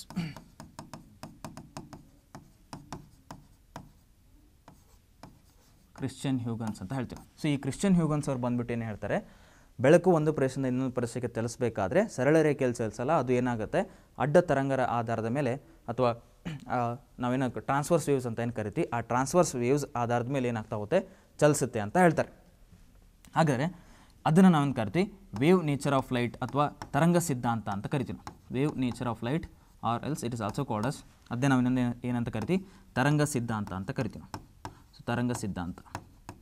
ಹಾಗರೆ ಬೆಳಕಿಗೆ ಎರಡು ಥರದ ಸಿದ್ಧಾಂತಗಳಿದ್ದಾವೆ ಎರಡು ನೇಚರ್ ಬರ್ತಾ ಹೋಗುತ್ತೆ. ಒಂದು ಪಾರ್ಟಿಕಲ್ ನೇಚರ್ ಇನ್ನೊಂದು ವೇವ್ ನೇಚರ್ ಕಣ ಸಿದ್ಧಾಂತ, ಇನ್ನೊಂದು ತರಂಗ ಸಿದ್ಧಾಂತ. ಕಣ ಸಿದ್ಧಾಂತ ಅಥವಾ ಪಾರ್ಟಿಕಲ್ ನೇಚರ್ನ ಕೊಟ್ಟವರು ಯಾರು? ನ್ಯೂಟನ್. ತರಂಗ ಸಿದ್ಧಾಂತ ಅಥವಾ ವೇವ್ ನೇಚರ್ನ ಕೊಟ್ಟವರು ಯಾರು? Christian Huygens. ಹಾಗೆ ಇದಕ್ಕೆ ಸಪೋರ್ಟಿಂಗ್ ಆಗಿ ಒಂದಿಷ್ಟು ಎಫೆಕ್ಟ್ಸ್ಗಳಿರಬೇಕು ಏನಂತಂದರೆ, ಬೆಳಕು ಸ್ಟ್ರೇಟ್ ಪಾತಲ್ಲೇ ಅಥವಾ ಸರಳ ರೇಖೆಯಲ್ಲಿ ಚಲಿಸುತ್ತೆ ಅಂತ ಹೇಳಲಿಕ್ಕೆ ಒಂದು ಸಪೋರ್ಟಿಂಗ್ ಏನು ಎಕ್ಸ್ಪೆರಿಮೆಂಟ್ಗಳಿರಬೇಕು ಅಥವಾ ಫಿನಾಮಿನಾಸ್ಗಳಿರಬೇಕು ಎಫೆಕ್ಟ್ಗಳಿರಬೇಕು ಆ ಎಫೆಕ್ಟ್ಗಳನ್ನೇ ನಾವು ಏನಾಗ್ತಾ ಹೋಗುತ್ತೆ ಸ್ಟಡಿ ಮಾಡ್ತಾ ಹೋಗ್ತೀವಿ. ಹಾಗೆ ಕನ ಸಿದ್ಧಾಂತವನ್ನು ಹೇಳುವಂಥ ಎಫೆಕ್ಟ್ಗಳು ಯಾವ್ಯಾವ ಬರ್ತವೆ ಅಂತಂದರೆ ಮೊದಲನೇ ಎಫೆಕ್ಟು ಅದನ್ನು ಒಂದು ಕರಿತೀವಿ? ರಿಫ್ಲೆಕ್ಷನ್ ಅಂತ ಕರಿತೀವಿ. ಸೊ ರಿಫ್ಲೆಕ್ಷನ್ ಇದನ್ನು ಪ್ರತಿಫಲನ ಅಂತ ಹೇಳ್ತೀವಿ. ಪ್ರತಿಫಲ. ಹಾಗೆ ಪ್ರತಿಫಲನ ಯಾವಾಗಲೂ ಬೆಳಕು ಸರಳ ಏಕೆಯಲ್ಲಿ ಚಲಿಸ್ತಿರಬೇಕಾದ್ರೆ ಆಗುವಂಥ ಒಂದು ಫಿನಾಮಿನ ಅಥವಾ ಎಫೆಕ್ಟ್ ಆಗುತ್ತೆ. ಓಕೆ ನೆಕ್ಸ್ಟ್ ಇನ್ನೊಂದು ಎಫೆಕ್ಟ್ ಇದೆ. ರಿಫ್ರಾಕ್ಷನ್ ಅದನ್ನು ಒಂದು ಕರಿತೀವಿ. ರಿಫ್ರಾಕ್ಷನ್ ಅಂತ ಕರಿತೀವಿ. ಹಾಗೆ ರಿಫ್ರಾಕ್ಷನ್ ಅಂತ ನಾವು ಕರಿತೀವಿ. ವಕ್ರೀಭವನ ಅಂತ ಕರಿತೀವಿ. ವಕ್ರೀಭವನ. ಈ ವಕ್ರೀಭವನವು ಏನಾಗ್ತಾ ಹೋಗುತ್ತೆ? ಕನಸಿದ್ಧಾಂತದ ಆಧಾರದ ಮೇಲೆ ಇರುವಂಥ ಒಂದು ಎಫೆಕ್ಟ್ ಅದು. ಓಕೆ ನೆಕ್ಸ್ಟ್ ಮೂರನೇದು, ಇನ್ನೊಂದು ಬರುತ್ತೆ ಯಾವುದು? ಅದನ್ನು ನಾವು ಕರಿತೀವಿ total internal reflection total internal internal reflection total internal reflection ಇದನ್ನ ನಾವು ಕನ್ನಡದಲ್ಲಿ ಏನಂತ ಕರಿತೀವಿ? ಒಟ್ಟು ಆಂತರಿಕ ಪ್ರತಿಫಲನ ಅಂತ ಕರಿತೀವಿ. ಒಟ್ಟು ಆಂತರಿಕ ಪ್ರತಿಫಲನ. ಒಟ್ಟು ಆಂತರಿಕ ಪ್ರತಿಫಲನ. ಸೊ ಈ ಒಟ್ಟು ಆಂತರಿಕ ಪ್ರತಿಫಲನವು ಯಾವುದರ ಮೇಲೆ ವರ್ಕ್ ಆಗ್ತಾ ಹೋಗುತ್ತೆ? ಕನ ಸಿದ್ಧಾಂತ ಅಥವಾ ಪಾರ್ಟಿಕಲ್ ನೇಚರ್ ಆಫ್ ಲೈಟ್ ಮೇಲೆ ವರ್ಕ್ ಆಗ್ತಾ ಹೋಗುತ್ತೆ. ನೆಕ್ಸ್ಟ್ ಇನ್ನೊಂದು ಬರುತ್ತೆ. ನಾಲ್ಕನೇದು ಅದನ್ನು ನಾವು ಕರಿತೀವಿ ವರ್ಣ ವಿಭಜನೆ ಅಥವಾ ಡಿಸ್ಪರ್ಷನ್ ಆಫ್ ಲೈಟ್ ಅಂತ ಕರಿತೀವಿ. Dispersion of light dispersion of light ಅಥವಾ ವರ್ಣ ವಿಭಜನೆ ಅಂತ ಕರಿತೀವಿ ವರ್ಣ ವಿಭಜನೆ. ವರ್ಣ ವಿಭಜನೆ. ಸೊ ಇದು ಯಾವುದ್ರ ಮೇಲೆ ವರ್ಕ್ ಆಗುತ್ತೆ? ಕನಸಿದ್ದ ಅಂತ ಅಥವಾ ಪಾರ್ಟಿಕಲ್ ನೇಚರ್ ಮೇಲೆ ವರ್ಕ್ ಆಗುತ್ತೆ. ಇನ್ನು ಒಂದು ಎಫೆಕ್ಟ್ ಕೊಳ್ಕೊಂಡಿರೋದು ಅದನ್ನು ನಾವೇನು ಕರಿತೀವಿ? ಇಲ್ಲಿ ಬರಿತೀವಿ ನೋಡಿ. ಐದನೇದು, ಅದನ್ನು ನಾವು ಸ್ಕ್ಯಾಟ್ರಿಂಗ್ ಎಫೆಕ್ಟ್ ಆಫ್ ಲೈಟ್ ಅಥವಾ ಚದುರುವಿಕೆ ಅಂತ ಕರಿತೀವಿ ನಾವು. Scattering scattering effect of light ಅಥವಾ ಅದನ್ನೇ ನಾವು ಕರಿತೀವಿ? ಚದರುವಿಕೆ ಅಂತ ಕರಿತೀವಿ. ಸೊ ಬೆಳಕಿನ ಚದುರುವಿಕೆಯು ಯಾವುದರ ಆಧಾರದ ಮೇಲೆ ವರ್ಕ್ ಆಗುತ್ತೆ? ಕನ ಸಿದ್ಧಾಂತ ಅಥವಾ ಪಾರ್ಟಿಕಲ್ ನೇಚರ್ ಆಫ್ ಲೈಟ್ ಮೇಲೆ ವರ್ಕ್ ಆಗ್ತಾ ಬರುತ್ತೆ. ಹಾಗಾದರೆ ಅಬ್ಸರ್ವ್ ಮಾಡಿ, ಇವು ಐದು ಏನಿದ್ದಾವೆ ಸೊ ಇವು ಐದು ಏನಿದ್ದಾವೆ ಕನ ಸಿದ್ಧಾಂತ, ಈ ಐದು ಎಫೆಕ್ಟ್ಗಳು ಕನ ಸಿದ್ಧಾಂತ ಅಥವಾ particle nature of light ray nature of light ಮೇಲೆ ವರ್ಕ್ ಆಗುವಂಥ ಎಫೆಕ್ಟ್ಗಳಿವೆ ಓಕೆ ಇಲ್ಲಿ ಬನ್ನಿ ಕ್ರಿಶ್ಚಿಯನ್ ಹ್ಯೂಗನ್ಸ್ ಅವ್ರು ಹೇಳಿರುವಂಥ ಪ್ರಕಾರ ಏನು ಹೇಳ್ತಾರೆ? ತರಂಗರ ಆಧಾರದ ಮೇಲೆ ಅಥವಾ ಅದು ಈ ರೀತಿ ಅಡ್ಡ ತರಂಗಗಳಾಗಿ ಚಲಿಸ್ತಾ ಹೋಗುತ್ತೆ. ಒಂದು ಪ್ರದೇಶದಿಂದ ಇನ್ನೊಂದು ಪ್ರದೇಶಕ್ಕೆ ಅಡ್ಡ ತರಂಗಗಳಾಗಿ ಚಲಿಸ್ತಾ ಇರುತ್ತೆ ಅಂತ ಯಾರು ಹೇಳ್ತಾರೆ? ಕ್ರಿಶ್ಚಿಯನ್ ಹ್ಯೂಗನ್ಸ್ ಅವರು ಹೇಳಿರ್ತಾರೆ. ಹಾಗೆ ಅವರು ಸಪೋರ್ಟ್ ಅವ್ರಿಗೆ ಕಾನ್ಸೆಪ್ಟ್ಗೆ ಸಪೋರ್ಟಿಂಗ್ ಆಗಿ ಒಂದಿಷ್ಟು ಎಫೆಕ್ಟ್ಗಳಿದ್ದಾವೆ ಆ ಎಫೆಕ್ಟ್ಗಳನ್ನ ನೋಡ್ತಿರ್ಬೇಕಾದ್ರೆ ನಮಗೆ ಯಾವಾಗಲೂ ಏನು ಅನಿಸುತ್ತೆ ಅಂದರೆ, ಬೆಳಕು ಒಂದು ಪ್ರದೇಶದಿಂದ ಇನ್ನೊಂದು ಪ್ರದೇಶಕ್ಕೆ ಚಲಿಸಬೇಕಾದ್ರೆ ಈ ರೀತಿ ಅಡ್ಡ ತರಂಗಗಳಾಗಿ ಚಲಿಸುತ್ತೆ ಅಂತ ಗೊತ್ತಾಗ್ತಾ ಹೋಗುತ್ತೆ. ಹಾಗೆ ಆ ಎಫೆಕ್ಟ್ಗಳು ಯಾವ್ಯಾವ ಬರ್ತವೆ? ಒಂದೊಂದಾಗಿ ನೋಡ್ತವೆ ಫಸ್ಟ್ ಒನ್ ಯಾವ ಬರ್ತವೆ? ವೇವ್ ನೇಚರ್ ಆಫ್ ಲೈಟ್ ಮೇಲೆ ಇರುವಂಥದ್ದು. ತರಂಗ ಸಿದ್ಧಾಂತದ ಮೇಲೆ ಇರುವಂಥದ್ದು. ಒಂದೇದು, ಅದನ್ನು ಕರಿತೀವಿ ಇಂಟ್ರಿಫರೆನ್ಸ್ ಆಫ್ ಲೈಟ್ ಅಂತ ಕರಿತೀವಿ. ಇಂಟ್ರಿಫರೆನ್ಸ್ ಇಂಟ್ರಿಫರೆನ್ಸ್ ಆಫ್ ಲೈಟ್ ಅಥವಾ ಅದೇನನ್ನು ಕರಿತೀವಿ ವ್ಯತೀಕರಣ ಅಂತ ಕರಿತೀವಿ. ಬೆಳಕಿನ ವ್ಯತೀಕರಣ. ಬೆಳಕಿನ ವ್ಯತ್- ವ್ಯತೀಕರಣ. ಬೆಳಕಿನ ವ್ಯತೀಕರಣ ಅಂತ ಕರಿತೀವಿ. ಇನ್ನೊಂದು ಬರುತ್ತೆ, ಇನ್ನೊಂದು ಎಫೆಕ್ಟ್ ಬರುತ್ತೆ. Diffraction of light so diffraction of light diffraction of light ಇದನ್ನೇ ನಾವೇನು ಕರಿತೀವಿ? ಬೆಳಕಿನ ವಿವರ್ತನೆ ಅಂತ ಕರಿತೀವಿ. ಬೆಳಕಿನ ವಿವರ್ತನೆ ಅಂತ ಹೇಳ್ತೀವಿ. ಇನ್ನೊಂದು ಮೂರನೇದು ಬರುತ್ತೆ. ಆ ಮೂರನೇದನ್ನು ನಾವೇನು ಕರ್ತೀವಿ polarisation of light polarisation of light polarisation ಅದೇ ನಾವು ಇನ್ನೊಂದು ಹೆಸರಿಂದ ಏನಂತ ಕರಿತೀವಿ ಕನ್ನಡದಲ್ಲಿ? ಧ್ರುವೀಕರಣ, ಬೆಳಕಿನ ಧ್ರುವೀಕರಣ ಅಂತ ಕರಿತೀವಿ ನಾವು. ಬೆಳಕಿನ ಧ್ರುವೀಕರಣ ಅಂತ ಹೇಳ್ತೀವಿ. ಹಾಗಾದ್ರೆ ಈ ಮೂರು ಎಫೆಕ್ಟ್ಗಳು ಏನಿದ್ದಾವೆ ಈ ಮೂರು ಎಫೆಕ್ಟ್ಗಳು ಯಾವುದರ ಮೇಲೆ ವರ್ಕ್ ಆಗುವಂಥದ್ದು? ತರಂಗ ಸಿದ್ಧಾಂತ ಅಥವಾ ವೇವ್ ನೇಚರ್ ಆಫ್ ಲೈಟ್ ಮೇಲೆ ವರ್ಕ್ ಆಗ್ತಿರೋದು. ಆ ಆ ಕಾನ್ಸೆಪ್ಟನ್ನ ಕೊಟ್ಟವ್ರು ಯಾರು? ಕ್ರಿಶ್ಚಿಯನ್ ಹ್ಯೂಗನ್ಸ್ ಅವರು ಕೊಟ್ಟಿರೋದು. ಓಕೆ ಸೊ ನೀವು ಯಾವಾಗಲೂ ಬೆಳಕಿನ ಚಾಪ್ಟ್ರಲ್ಲಿ ಅಥವಾ ಬೆಳಕಿನ ಏನು ಪಾಠದಲ್ಲಿ ಬರುವಂಥ ಒಂದು ಎಫೆಕ್ಟ್ಗಳೇನಿದ್ದಾವೆ ಆ ಎಫೆಕ್ಟ್ಗಳನ್ನ ಇದೇ ರೀತಿ ಭಾಗವನ್ನಾಗಿ ಮಾಡಿಬಿಟ್ಟು ಓದ್ಕೊಳ್ಳಿ. ಕ್ವಶನ್ ಈ ಥರನೇ ಕೇಳುವಂಥ ಚಾನ್ಸ್ ಇದೆ ನಿಮಗೆ. ತರಂಗ ಸಿದ್ಧಾಂತಕ್ಕೆ ಇರುವಂಥ ಎಫೆಕ್ಟ್ಗಳು ಯಾವುದು? ತರಂಗ ಸಿದ್ಧಾಂತಕ್ಕೆ ಇರುವಂಥ ಎಫೆಕ್ಟ್ಗಳು ಯಾವುದು? ಮತ್ತು ಕನ ಸಿದ್ಧಾಂತಕ್ಕೆ ಇರುವಂಥ ಎಫೆಕ್ಟ್ಗಳು ಯಾವುವು? So ray nature of light ಮೇಲೆ ಇರುವಂಥ ಎಫೆಕ್ಟ್ಗಳು ಯಾವುವು? ಅದನ್ನ ನಿಮಗೆ ಕೇಳ್ತಾ ಹೋಗ್ತಾರೆ. ಓಕೆ ಸೊ ಈ ಕಾನ್ಸೆಪ್ಟನ್ನ ನೋಡ್ಕೊಳ್ತಾ ಹೋಗಿ. ಇದು ನಿಮಗೆ ಈ ಟೇಬಲ್ ನಿಮಗೆ ಅರ್ಥ ಆಗಿದೆ ಅಂತ ಅಂದ್ಕೊಳ್ತೀನಿ ಹಾಗಾದರೆ ನಮ್ಮ ಕೆಲಸ ಏನು ಇವಾಗ? ಲೈಟ್ ಚಾಪ್ಟ್ರಲ್ಲಿ ಈ ಪ್ರತಿಯೊಂದು ಎಫೆಕ್ಟ್ಗಳನ್ನ ನೋಡ್ಕೊಳ್ಳೋದು, ಅದು ಏನು ಅಂತ ತಿಳ್ಕೊಳ್ಬೇಕು. ತಿಳ್ಕೊಂಡಾದ್ಮೇಲೆ ಅದರ ಒಳಗಡೆ ಇರುವಂಥ ಅಪ್ಲಿಕೇಶನ್ಸ್ ಅಥವಾ ಅನ್ವಯಗಳನ್ನ ನೋಡಬೇಕು. ಅದರಿಂದ ನಮಗೇನು ಬರುತ್ತೆ? ಕ್ವಶನ್ಸ್ಗಳು ಬರುತ್ತೆ. ಓಕೆ ಹಾಗೆ ಮೊದಲನೇದು ಮೊದಲನೇ ಎಫರ್ಟಿಂದ ಸ್ಟಾರ್ಟ್ ಮಾಡ್ತಾ ಹೋಗೋಣ. ರಿಫ್ಲೆಕ್ಷನ್ ಆಫ್ ಲೈಟ್ ಅಥವಾ ಪ್ರತಿಫಲನದಿಂದ ಸ್ಟಾರ್ಟ್ ಮಾಡ್ತಾ ಹೋಗೋಣ. ಫಸ್ಟ್ ನಾನು ಕನ ಸಿದ್ಧಾಂತವನ್ನು ಕಂಪ್ಲೀಟ್ ಮಾಡಿಬಿಟ್ಟು ಆಮೇಲೆ ಎಲ್ಲಿ ಬರ್ತೀನಿ? ತರಂಗ ಸಿದ್ಧಾಂತ ಅಥವಾ ವೇವ್ ನೇಚರ್ ಆಫ್ ಲೈಟ್ಗೆ ಬರ್ತೀನಿ.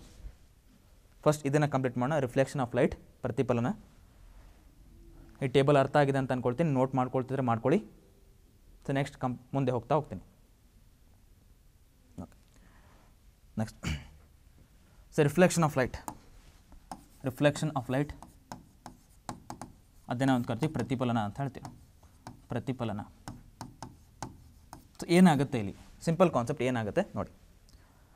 ಸೊ ನಾವು ಆವಾಗಲೇ ಸ್ಟಡಿ ಮಾಡಿರೋ ಪ್ರಕಾರ ಮಾಧ್ಯಮಗಳಲ್ಲಿ ಮೂರು ಮಾಧ್ಯಮಗಳಿರೋದು. ಅಥವಾ ಮೀಡಿಯಮಲ್ಲಿ three types of medium so ಒಂದು ಘನ ಮಾಧ್ಯಮ, ದ್ರವ ಮಾಧ್ಯಮ ಮತ್ತು ಅನಿಲ ಮಾಧ್ಯಮ ಅಂತ ಓದ್ ನೋಡಿದ್ದೀವಿ ಸಾಲಿಡ್ ಲಿಕ್ವಿಡ್ ಆ್ಯಂಡ್ ಗ್ಯಾಸ್ ಇವಾಗ ಯಾವುದಾದ್ರೂ ಒಂದು ಮೀಡಿಯಮ್ನ ತೊಗೊಳ್ತೀವಿ ನಾವು. ಒಂದು ಮಾಧ್ಯಮನ ತೊಗೊಳ್ತೀವಿ. ಇವಾಗ ಒಂದು ಸರ್, ಒಂದು ಆಬ್ಜೆಕ್ಟ್ ಇದೆ ಅಂತ ಅಂದ್ಕೊಳ್ಳಿ ಆಬ್ಜೆಕ್ಟ್ ಮೇಲೆ ಒಂದು ಮಾಧ್ಯಮದಿಂದ ಬೆಳಕಿನ ಕಿರಣಗಳನ್ನ ಇದರ ಮೇಲೆ ಬೀಳಿಸಿದಾಗ, ಒಂದು ಮಾಧ್ಯಮ ಅಂದರೆ ನಾನು ಇಲ್ಲಿ ಅನಿಲ ಮಾಧ್ಯಮ ಅಂತ ತೊಗೊಳ್ತಾ ಇದ್ದೀನಿ.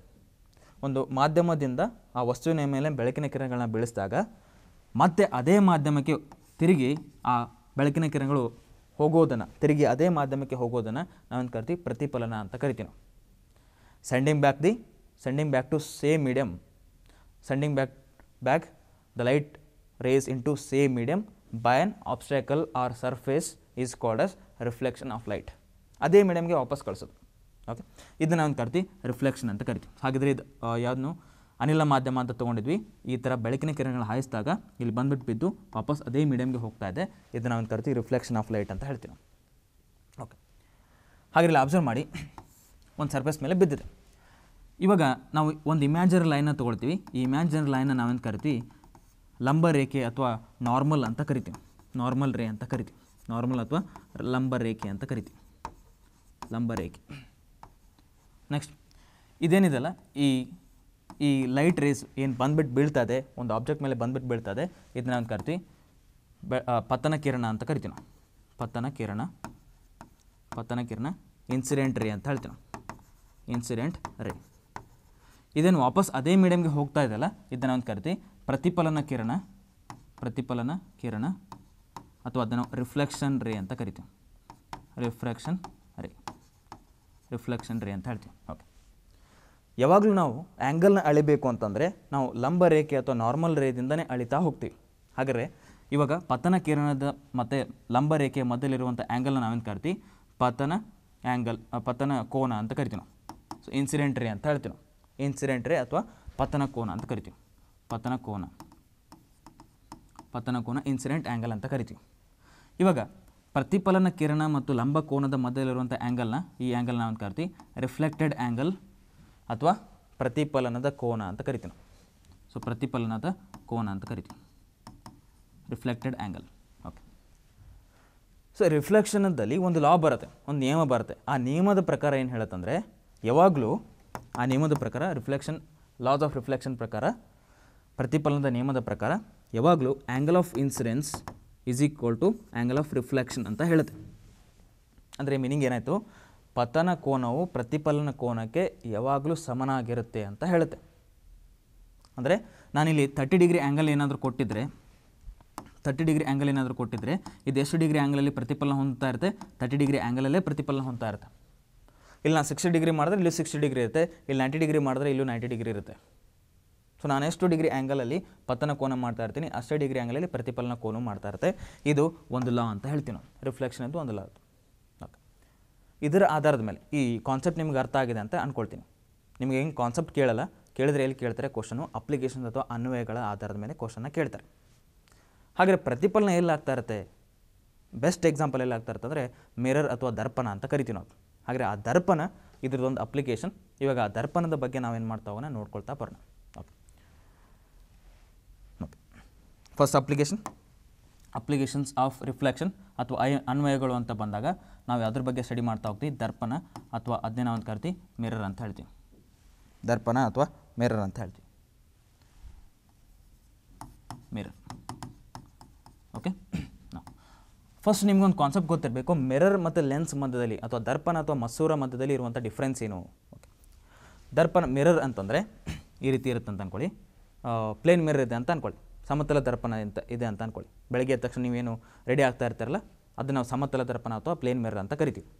ಆ ಪ್ಲೇನ್ ಮಿರರಲ್ಲಿ ಒಂದು ಕಡೆ ಮಾತ್ರ ನಮ್ಮ ಮುಖ ಕಾಣುವ ಥರ ಇರುತ್ತೆ. ಒಂದು ಕಡೆ ಮಾತ್ರ ನಮ್ಮ ಮುಖ ತ ಕಾಣೋ ಥರ ಇರುತ್ತೆ. ಅಂದರೆ ಇದು ರಿಫ್ಲೆಕ್ಟಿಂಗ್ ಸರ್ಫೇಸ್ ಆಗಿರುತ್ತೆ. ಪ್ರತಿಫಲನ ಒಂದು ಮೇಲ್ಮೈ ಆಗಿರುತ್ತೆ ಈ ಕಡೆ. ಅದರ ಹಿಂದ್ಗಡೆ ಪ್ರತಿಫಲನ ಆಗೋದಿಲ್ಲ. ಅದ್ರ ಹಿಂದ್ಗಡೆ ಏನು ಮಾಡಿರ್ತಾರೆ? ಕೋಟಿಂಗ್ ಮಾಡಿರ್ತಾರೆ. ಒಂದು ಲೇಪನ ಮಾಡಿರ್ತಾರೆ, ಎದುರು ಲೇಪನ ಮಾಡಿರ್ತಾರೆ ಸಿಲ್ವರ್ ಅಥವಾ ಬೆಳ್ಳಿಯ ಲೇಪನ ಮಾಡಿರ್ತಾರೆ. ಸೊ ಹಿಂದ್ಗಡೆ ನಿಂತ್ಬಿಟ್ಟು ನೋಡಿದ್ರೆ ನಮ್ಗೆ ಕಾಣಲ್ಲ ಮುಖನ. ಯಾಕಂದರೆ ಅದು ರಿಫ್ಲೆಕ್ಟಿಂಗ್ ಸರ್ಫೇಸ್ ಇರಲ್ಲ. ಇದನ್ನು ನಾವು ಕರಿತೀವಿ ದರ್ಪಣ ಅಂತ ಕರಿತೀವಿ. ಸೊ ಹಾಗಾದ್ರೆ ದರ್ಪಣದಲ್ಲಿ ಒಂದು ಕಡೆ ಮಾತ್ರ ಮುಖ ಕಾಣಿಸುತ್ತೆ, ಇನ್ನೊಂದು ಕಡೆ ಮುಖ ಕಾಣಿಸಲ್ಲ. ಸಿಂಪಲಾಗಿ ಆ ಥರ ಅಂದ್ಕೊಳ್ಳಿ ನೆಕ್ಸ್ಟ್ ಅದೇ, ಈ ಮಸೂರ ಅಥವಾ ಇದನ್ನ ನಾವು ಲೆನ್ಸ್ ಏನಂತ ಕರಿತೀವಿ, ಆ ಲೆನ್ಸಲ್ಲಿ ನಾವು ಎರಡೂ ಕಡೆ ನಿಂತ್ರೂ ನಮ್ಮ ಮುಖ ಏನಾಗ್ತಾ ಇರುತ್ತೆ? ಸ್ವಲ್ಪ ಕಾ, ಸ್ವಲ್ಪ ಮಟ್ಟಿಗೆ ಕಾಣ್ತಾ ಇರುತ್ತೆ ರಿಫ್ಲೆಕ್ಷನ್ ಆಗ್ತಾ ಇರುತ್ತೆ. ಎರಡೂ ಕಡೆ ಕಾಣ್ತಾ ಇರುತ್ತೆ. ಫಾರ್ ಎಕ್ಸಾಂಪಲ್ ನಾನು ಹಾಕ್ಕೊಂಡಿರುವಂಥ ಒಂದು ಸ್ಪೆಕ್ಟ್ ಏನಿದೆ, ಆ ಸ್ಪೆಕ್ಟ್ ಒಳಗಡೆ ಇರುವಂಥ ಏನು ಗ್ಲಾಸ್ ಇದೆಯಲ್ಲ, ಅದನ್ನ ನಾವು ಲೆನ್ಸ್ ಅಂತ ಕರಿತೀವಿ ಅಥವಾ ಮಸೂರ ಅಂತ ಕರಿತೀವಿ. ಹಾಗಾದ್ರೆ ಇವಾಗ ಅರ್ಥ ಆಯ್ತಾ? ಮಸೂರ ಮತ್ತು ದರ್ಪಣಕ್ಕೆ ಮಧ್ಯದಲ್ಲಿರುವಂಥ ವ್ಯತ್ಯಾಸ ಲೆನ್ಸ್ ಮತ್ತು ಮಿರರ್ ಮಧ್ಯದಲ್ಲಿರುವಂಥ ವ್ಯತ್ಯಾಸ ಗೊತ್ತಾಗಿರಬೇಕು. ಓಕೆ ನಾವು ಇವಾಗ ಡಿಸ್ಕಸ್ ಮಾಡ್ತಾ ಇರೋದು ದರ್ಪಣದ ಬಗ್ಗೆ ಡಿಸ್ಕಸ್ ಮಾಡ್ತಾ ಇರೋದು. ಓಕೆ ಅದನ್ನ ನೋಡ್ತಾ ಹೋಗೋಣ. ಇವಾಗ ದರ್ಪಣವನ್ನು ನಾವು ವಿಧಗಳಾಗಿ ಮಾಡ್ತಾ ಬರ್ತೀವಿ. ದರ್ಪಣ ವಿಧಗಳಾಗಿ ಮಾಡ್ತಾ ಬರ್ತೀವಿ. ಯಾವ ರೀತಿ ವಿಧಗಳಾಗಿ ಮಾಡ್ತೀವಿ ನೋಡಿ. ಸೊ ಟೈಪ್ಸ್ ಆಫ್ ಮಿರರ್ಸ್ ಎರಡು ಥರ ವಿಧಗಳಾಗಿ ಮಾಡ್ತೀವಿ. ಒಂದು ಸಮತಲ ದರ್ಪಣ ಅಂತ ಕರಿತೀವಿ. ಸಮತಲ ದರ್ಪಣ ಸಮತಲ ದರ್ಪಣ, ಅದನ್ನು ನಾವು ಪ್ಲೇನ್ ಮಿರರ್ ಅಂತ ಕರಿತೀವಿ. ಯಾಕಂದರೆ ಈ ಥರ ಸ್ಟ್ರೇಟ್ ಆಗಿರುತ್ತೆ, ಅದನ್ನು ನಾವು ಪ್ಲೇನ್ ಮಿರರ್ ಅಂತ ಕರಿತೀವಿ. ನಾವು ಸೊ ಪ್ಲೇನ್ ಮಿರರ್ ಇನ್ನೊಂದು, ಅದನ್ನು ಒಂದು ಕರಿತೀವಿ ಗೋಳಿಯ ದರ್ಪಣ. ಗೋಳಿಯ ದರ್ಪಣ, ಅದನ್ನು ನಾವು ಏನಂತ ಕರಿತೀವಿ? ಕರ್ವ್ ಮಿರರ್ ಅಥವಾ ಸ್ಪೆರಿಕಲ್ ಮಿರರ್ ಅಂತ ಕರಿತೀವಿ ಸ್ಪೆರಿಕಲ್ ಮಿರರ್ ಸ್ಪೆರಿಕಲ್ ಮಿರರ್ ಅಂತ ಹೇಳ್ತೀವಿ. ಯಾಕಂದರೆ ಆ ರೀತಿ, ಈ ರೀತಿ ಕರ್ವ್ ಶೇಪ್ ಆಗಿಬಿಟ್ಟಿರುತ್ತೆ. ಹೀಗಾಗಿ ಅದನ್ನು ನಾವು ಗೋಳಿಯ ದರ್ಪಣ ಅಥವಾ ಸ್ಪೆರಿಕಲ್ ಮಿರರ್ ಅಂತ ಕರಿತೀವಿ. ಇವಾಗ ಈ ಪ್ಲೇನ್ ಮಿರರ್ ಯೂಶ್ವಲಾಗಿ ನಾವು ನೋಡಿರ್ತೀವಿ. ಬೆಳಗ್ಗೆ ಎದ್ದ ತಕ್ಷಣ ಅದರಿಂದನೇ ನಾವೇನು ಮಾಡೋದು? ರೆಡಿಯಾಗಿ ಬರೋದು. ಆ ಸಮತಲ ದರ್ಪಣವನ್ನು ಎಲ್ಲೆಲ್ಲಿ ಬಳಸ್ಕೊಳ್ತೀವಿ ಅದನ್ನ ನಮ್ಗೆ ಗೊತ್ತಿರಬೇಕು. ಈ ಸಮತಲ ದರ್ಪಣ ಎಲ್ಲೆಲ್ಲಿ ಬಳಸ್ಕೊಳ್ತೀವಿ ನಾವು? ಶಾಪಲ್ಲಿ ಅಥವಾ ಏನು ಅಂಗಡಿಗಳಲ್ಲಿ ಇದನ್ನ ಬಳಸ್ಕೊಳ್ತಾರೆ. ಎಕ್ಸಾಂಪಲ್ ಕ್ಷೌರ ಅಂಗಡಿ ಆಯಿತು ಜ್ಯುವೆಲರಿ ಆಯಿತು, ಅಲ್ಲೆಲ್ಲ ಇದನ್ನ ಬಳಸ್ಕೊಳ್ತಾ ಇರ್ತಾರೆ ಅಂಗಡಿಗಳಲ್ಲಿ. ಮತ್ತು ಇನ್ನೊಂದು ಇಂಪಾರ್ಟೆಂಟ್ ಆಗಿರುವಂಥದ್ದು ಮತ್ತೆ ಎಲ್ಲಿ ಬಳಸ್ಕೊಳ್ತಾರೆ ಅಂತಂದರೆ ಇದನ್ನು ಪೆರಿಸ್ಕೋಪಲ್ಲಿ ಬಳಸ್ಕೊಳ್ತಾರೆ. ಪೆರಿಸ್ಕೋಪ್ ಪೆರಿಸ್ಕೋಪಲ್ಲಿ ಪೆರಿಸ್ಕೋಪ್ ಅನ್ನುವಂಥ ಒಂದು ವಸ್ತುವನ್ನು ಉತ್ಪಾದನೆ ಮಾಡಲಿಕ್ಕೆ ಅಲ್ಲಿ ಸಮತಲ ದರ್ಪಣ ಅಥವಾ ಪ್ಲೇನ್ ಮೇರನ್ನ ಬಳಸ್ಕೊಳ್ತಾರೆ. ಆ ಪೆರಿಸ್ಕೋಪ್ ಅಂದರೆ ಹೇಗಿರುತ್ತೆ? ಈ ರೀತಿ ಇರುತ್ತೆ ಜಡ್ ಶೇಪಲ್ಲಿ ಈ ರೀತಿ ಒಂದು ವಸ್ತು ಇರುತ್ತೆ. ನಮಗಿನ್ನ ಹೈಟ್ ಇರುವಂಥ ಒಂದು ವಸ್ತುನ ನೋಡಲಿಕ್ಕೆ ನಾವು ಇಲ್ಲಿ ನಿಂತ್ಕೊಂಡ್ಬಿಟ್ಟು ನೋಡ್ತಾ ಇದ್ದೀವಿ. ಇಲ್ಲೊಂದು ವಸ್ತು ಇದೆ. ಆ ವಸ್ತುನ ನೋಡಬೇಕು ಅಂತ ನಮ್ಮ ಪೆರಿಸ್ಕೋಪ್ ಆಧಾರದ ಮೇಲೆ ನೋಡ್ತೀವಿ. ಹೇಗೆ? ಇಲ್ಲೊಂದು ಪ್ಲೇನ್ ಮಿರರ್ ಅಥವಾ ಸಮತಲ ದರ್ಪಣವನ್ನು ಇಟ್ಟಿರ್ತಾರೆ. ಈ ಸಮತಲ ದರ್ಪಣದಲ್ಲಿ ಈ ವಸ್ತುವಿನ ಪ್ರತಿಫಲನ ಉಂಟಾಗುತ್ತೆ. ಇದಾದಮೇಲೆ ಇಲ್ಲೊಂದು ಸಮತಲ ದರ್ಪಣ ಇಟ್ಟಿರ್ತಾರೆ. ಈ ಸಮತಲ ದರ್ಪಣದಲ್ಲಿ ಅಥವಾ ಪ್ಲೇನ್ ಮಿರರಲ್ಲಿ ಈ ಪ್ರತಿಫಲನ ಮತ್ತೆ ಎಲ್ಲಿ ಬೀಳುತ್ತೆ? ಮತ್ತೆ ಎಲ್ಲಿ ಬೀಳುತ್ತೆ? ಇವಾಗ ಆ ಪ್ರತಿಫಲನವನ್ನು ನಾವು ಈಸಿಯಾಗಿ ನೋಡ್ಬೋದು. ಸೊ ಇದರದ್ದು ರಿಫ್ಲೆಕ್ಷನ್ ಇಲ್ಲಿ ಬೀಳ್ತಾ ಇರುತ್ತೆ? ಇದರ ರಿಫ್ಲೆಕ್ಷನ್ ಇಲ್ಲಿ ಬೀಳ್ತಾ ಇದೆ? ಅದನ್ನು ನಾವು ಈಸಿಯಾಗಿ ನೋಡ್ಬೋದು. ಇದನ್ನು ನಾನು ಕರಿತೀವಿ ಪೆರಿಸ್ಕೋಪ್ ಅಂತ ಕರಿತೀವಿ. ಹಾಗಾದ್ರೆ ಆ ಪೆರಿಸ್ಕೋಪ್ನ ಎಲ್ಲಿ ಬಳಸ್ಕೊಳ್ತೀವಿ ನಾವು? ಈ ಪೆರಿಸ್ಕೋಪ್ನ ನಾವು ಸಬ್ಮರಿನಲ್ಲಿ ಬಳಸ್ಕೊಳ್ತೀವಿ. ಸಬ್ಮರೀನ್ಸಲ್ಲಿ ಬಳಸ್ಕೊಳ್ತೀವಿ. ಹಾಗಾದ್ರೆ ನಿಮ್ಗೆ ಕ್ವಶನ್ ಕೇಳ್ಬೋದು, ಏನಂತ ಕೇಳ್ಬೋದು ನೋಡಿ, ಸಬ್ಮರೀನಲ್ಲಿ ಬಳಸ್ತಿರುವಂಥ ಪೆರಿಸ್ಕೋಪಲ್ಲಿ ಯಾವ ಥರ ದರ್ಪಣವನ್ನು ಬಳಸ್ಕೊಳ್ತೀವಿ? ಸಮತಲ ದರ್ಪಣ ಅಥವಾ ಪ್ಲೇನ್ ಮಿರನ್ನ ಬಳಸ್ಕೊಳ್ತೀವಿ. ಓಕೆ ಇವಾಗ ಇಲ್ಲಿ ಬರೋಣ. ಗೋಳಿಯ ದರ್ಪಣ ಅಥವಾ ಸ್ಪೆರಿಕಲ್ ಮಿರಲ್ಲಿ ಎರಡು ಥರ ಇದೆ. ಎರಡು ಥರ ಗೋಳಿಯ ದರ್ಪಣಗಳು ಒಂದು, ಅದನ್ನು ಕರ್ತಿ ನಿಮ್ನ ದರ್ಪಣ ನಿಮ್ನ ದರ್ಪಣ ಅಥವಾ ಅದನ್ನೇ ಕರ್ತಿ ಕಾನ್ಕೇವ್ ಮಿರರ್ ಅಂತ ಹೇಳ್ತೀನಿ ಕಾನ್ಕೇವ್ ಮಿರರ್. ಇನ್ನೊಂದು, ಪೀನ ದರ್ಪಣ ಪೀನ ದರ್ಪಣ ಅಥವಾ ಅದನ್ನೇ ನಾನು ಕರಿತೀವಿ. ಕಾನ್ವೆಕ್ಸ್ ಮಿರರ್ ಅಂತ ಕರಿತೀವಿ. Convex mirror.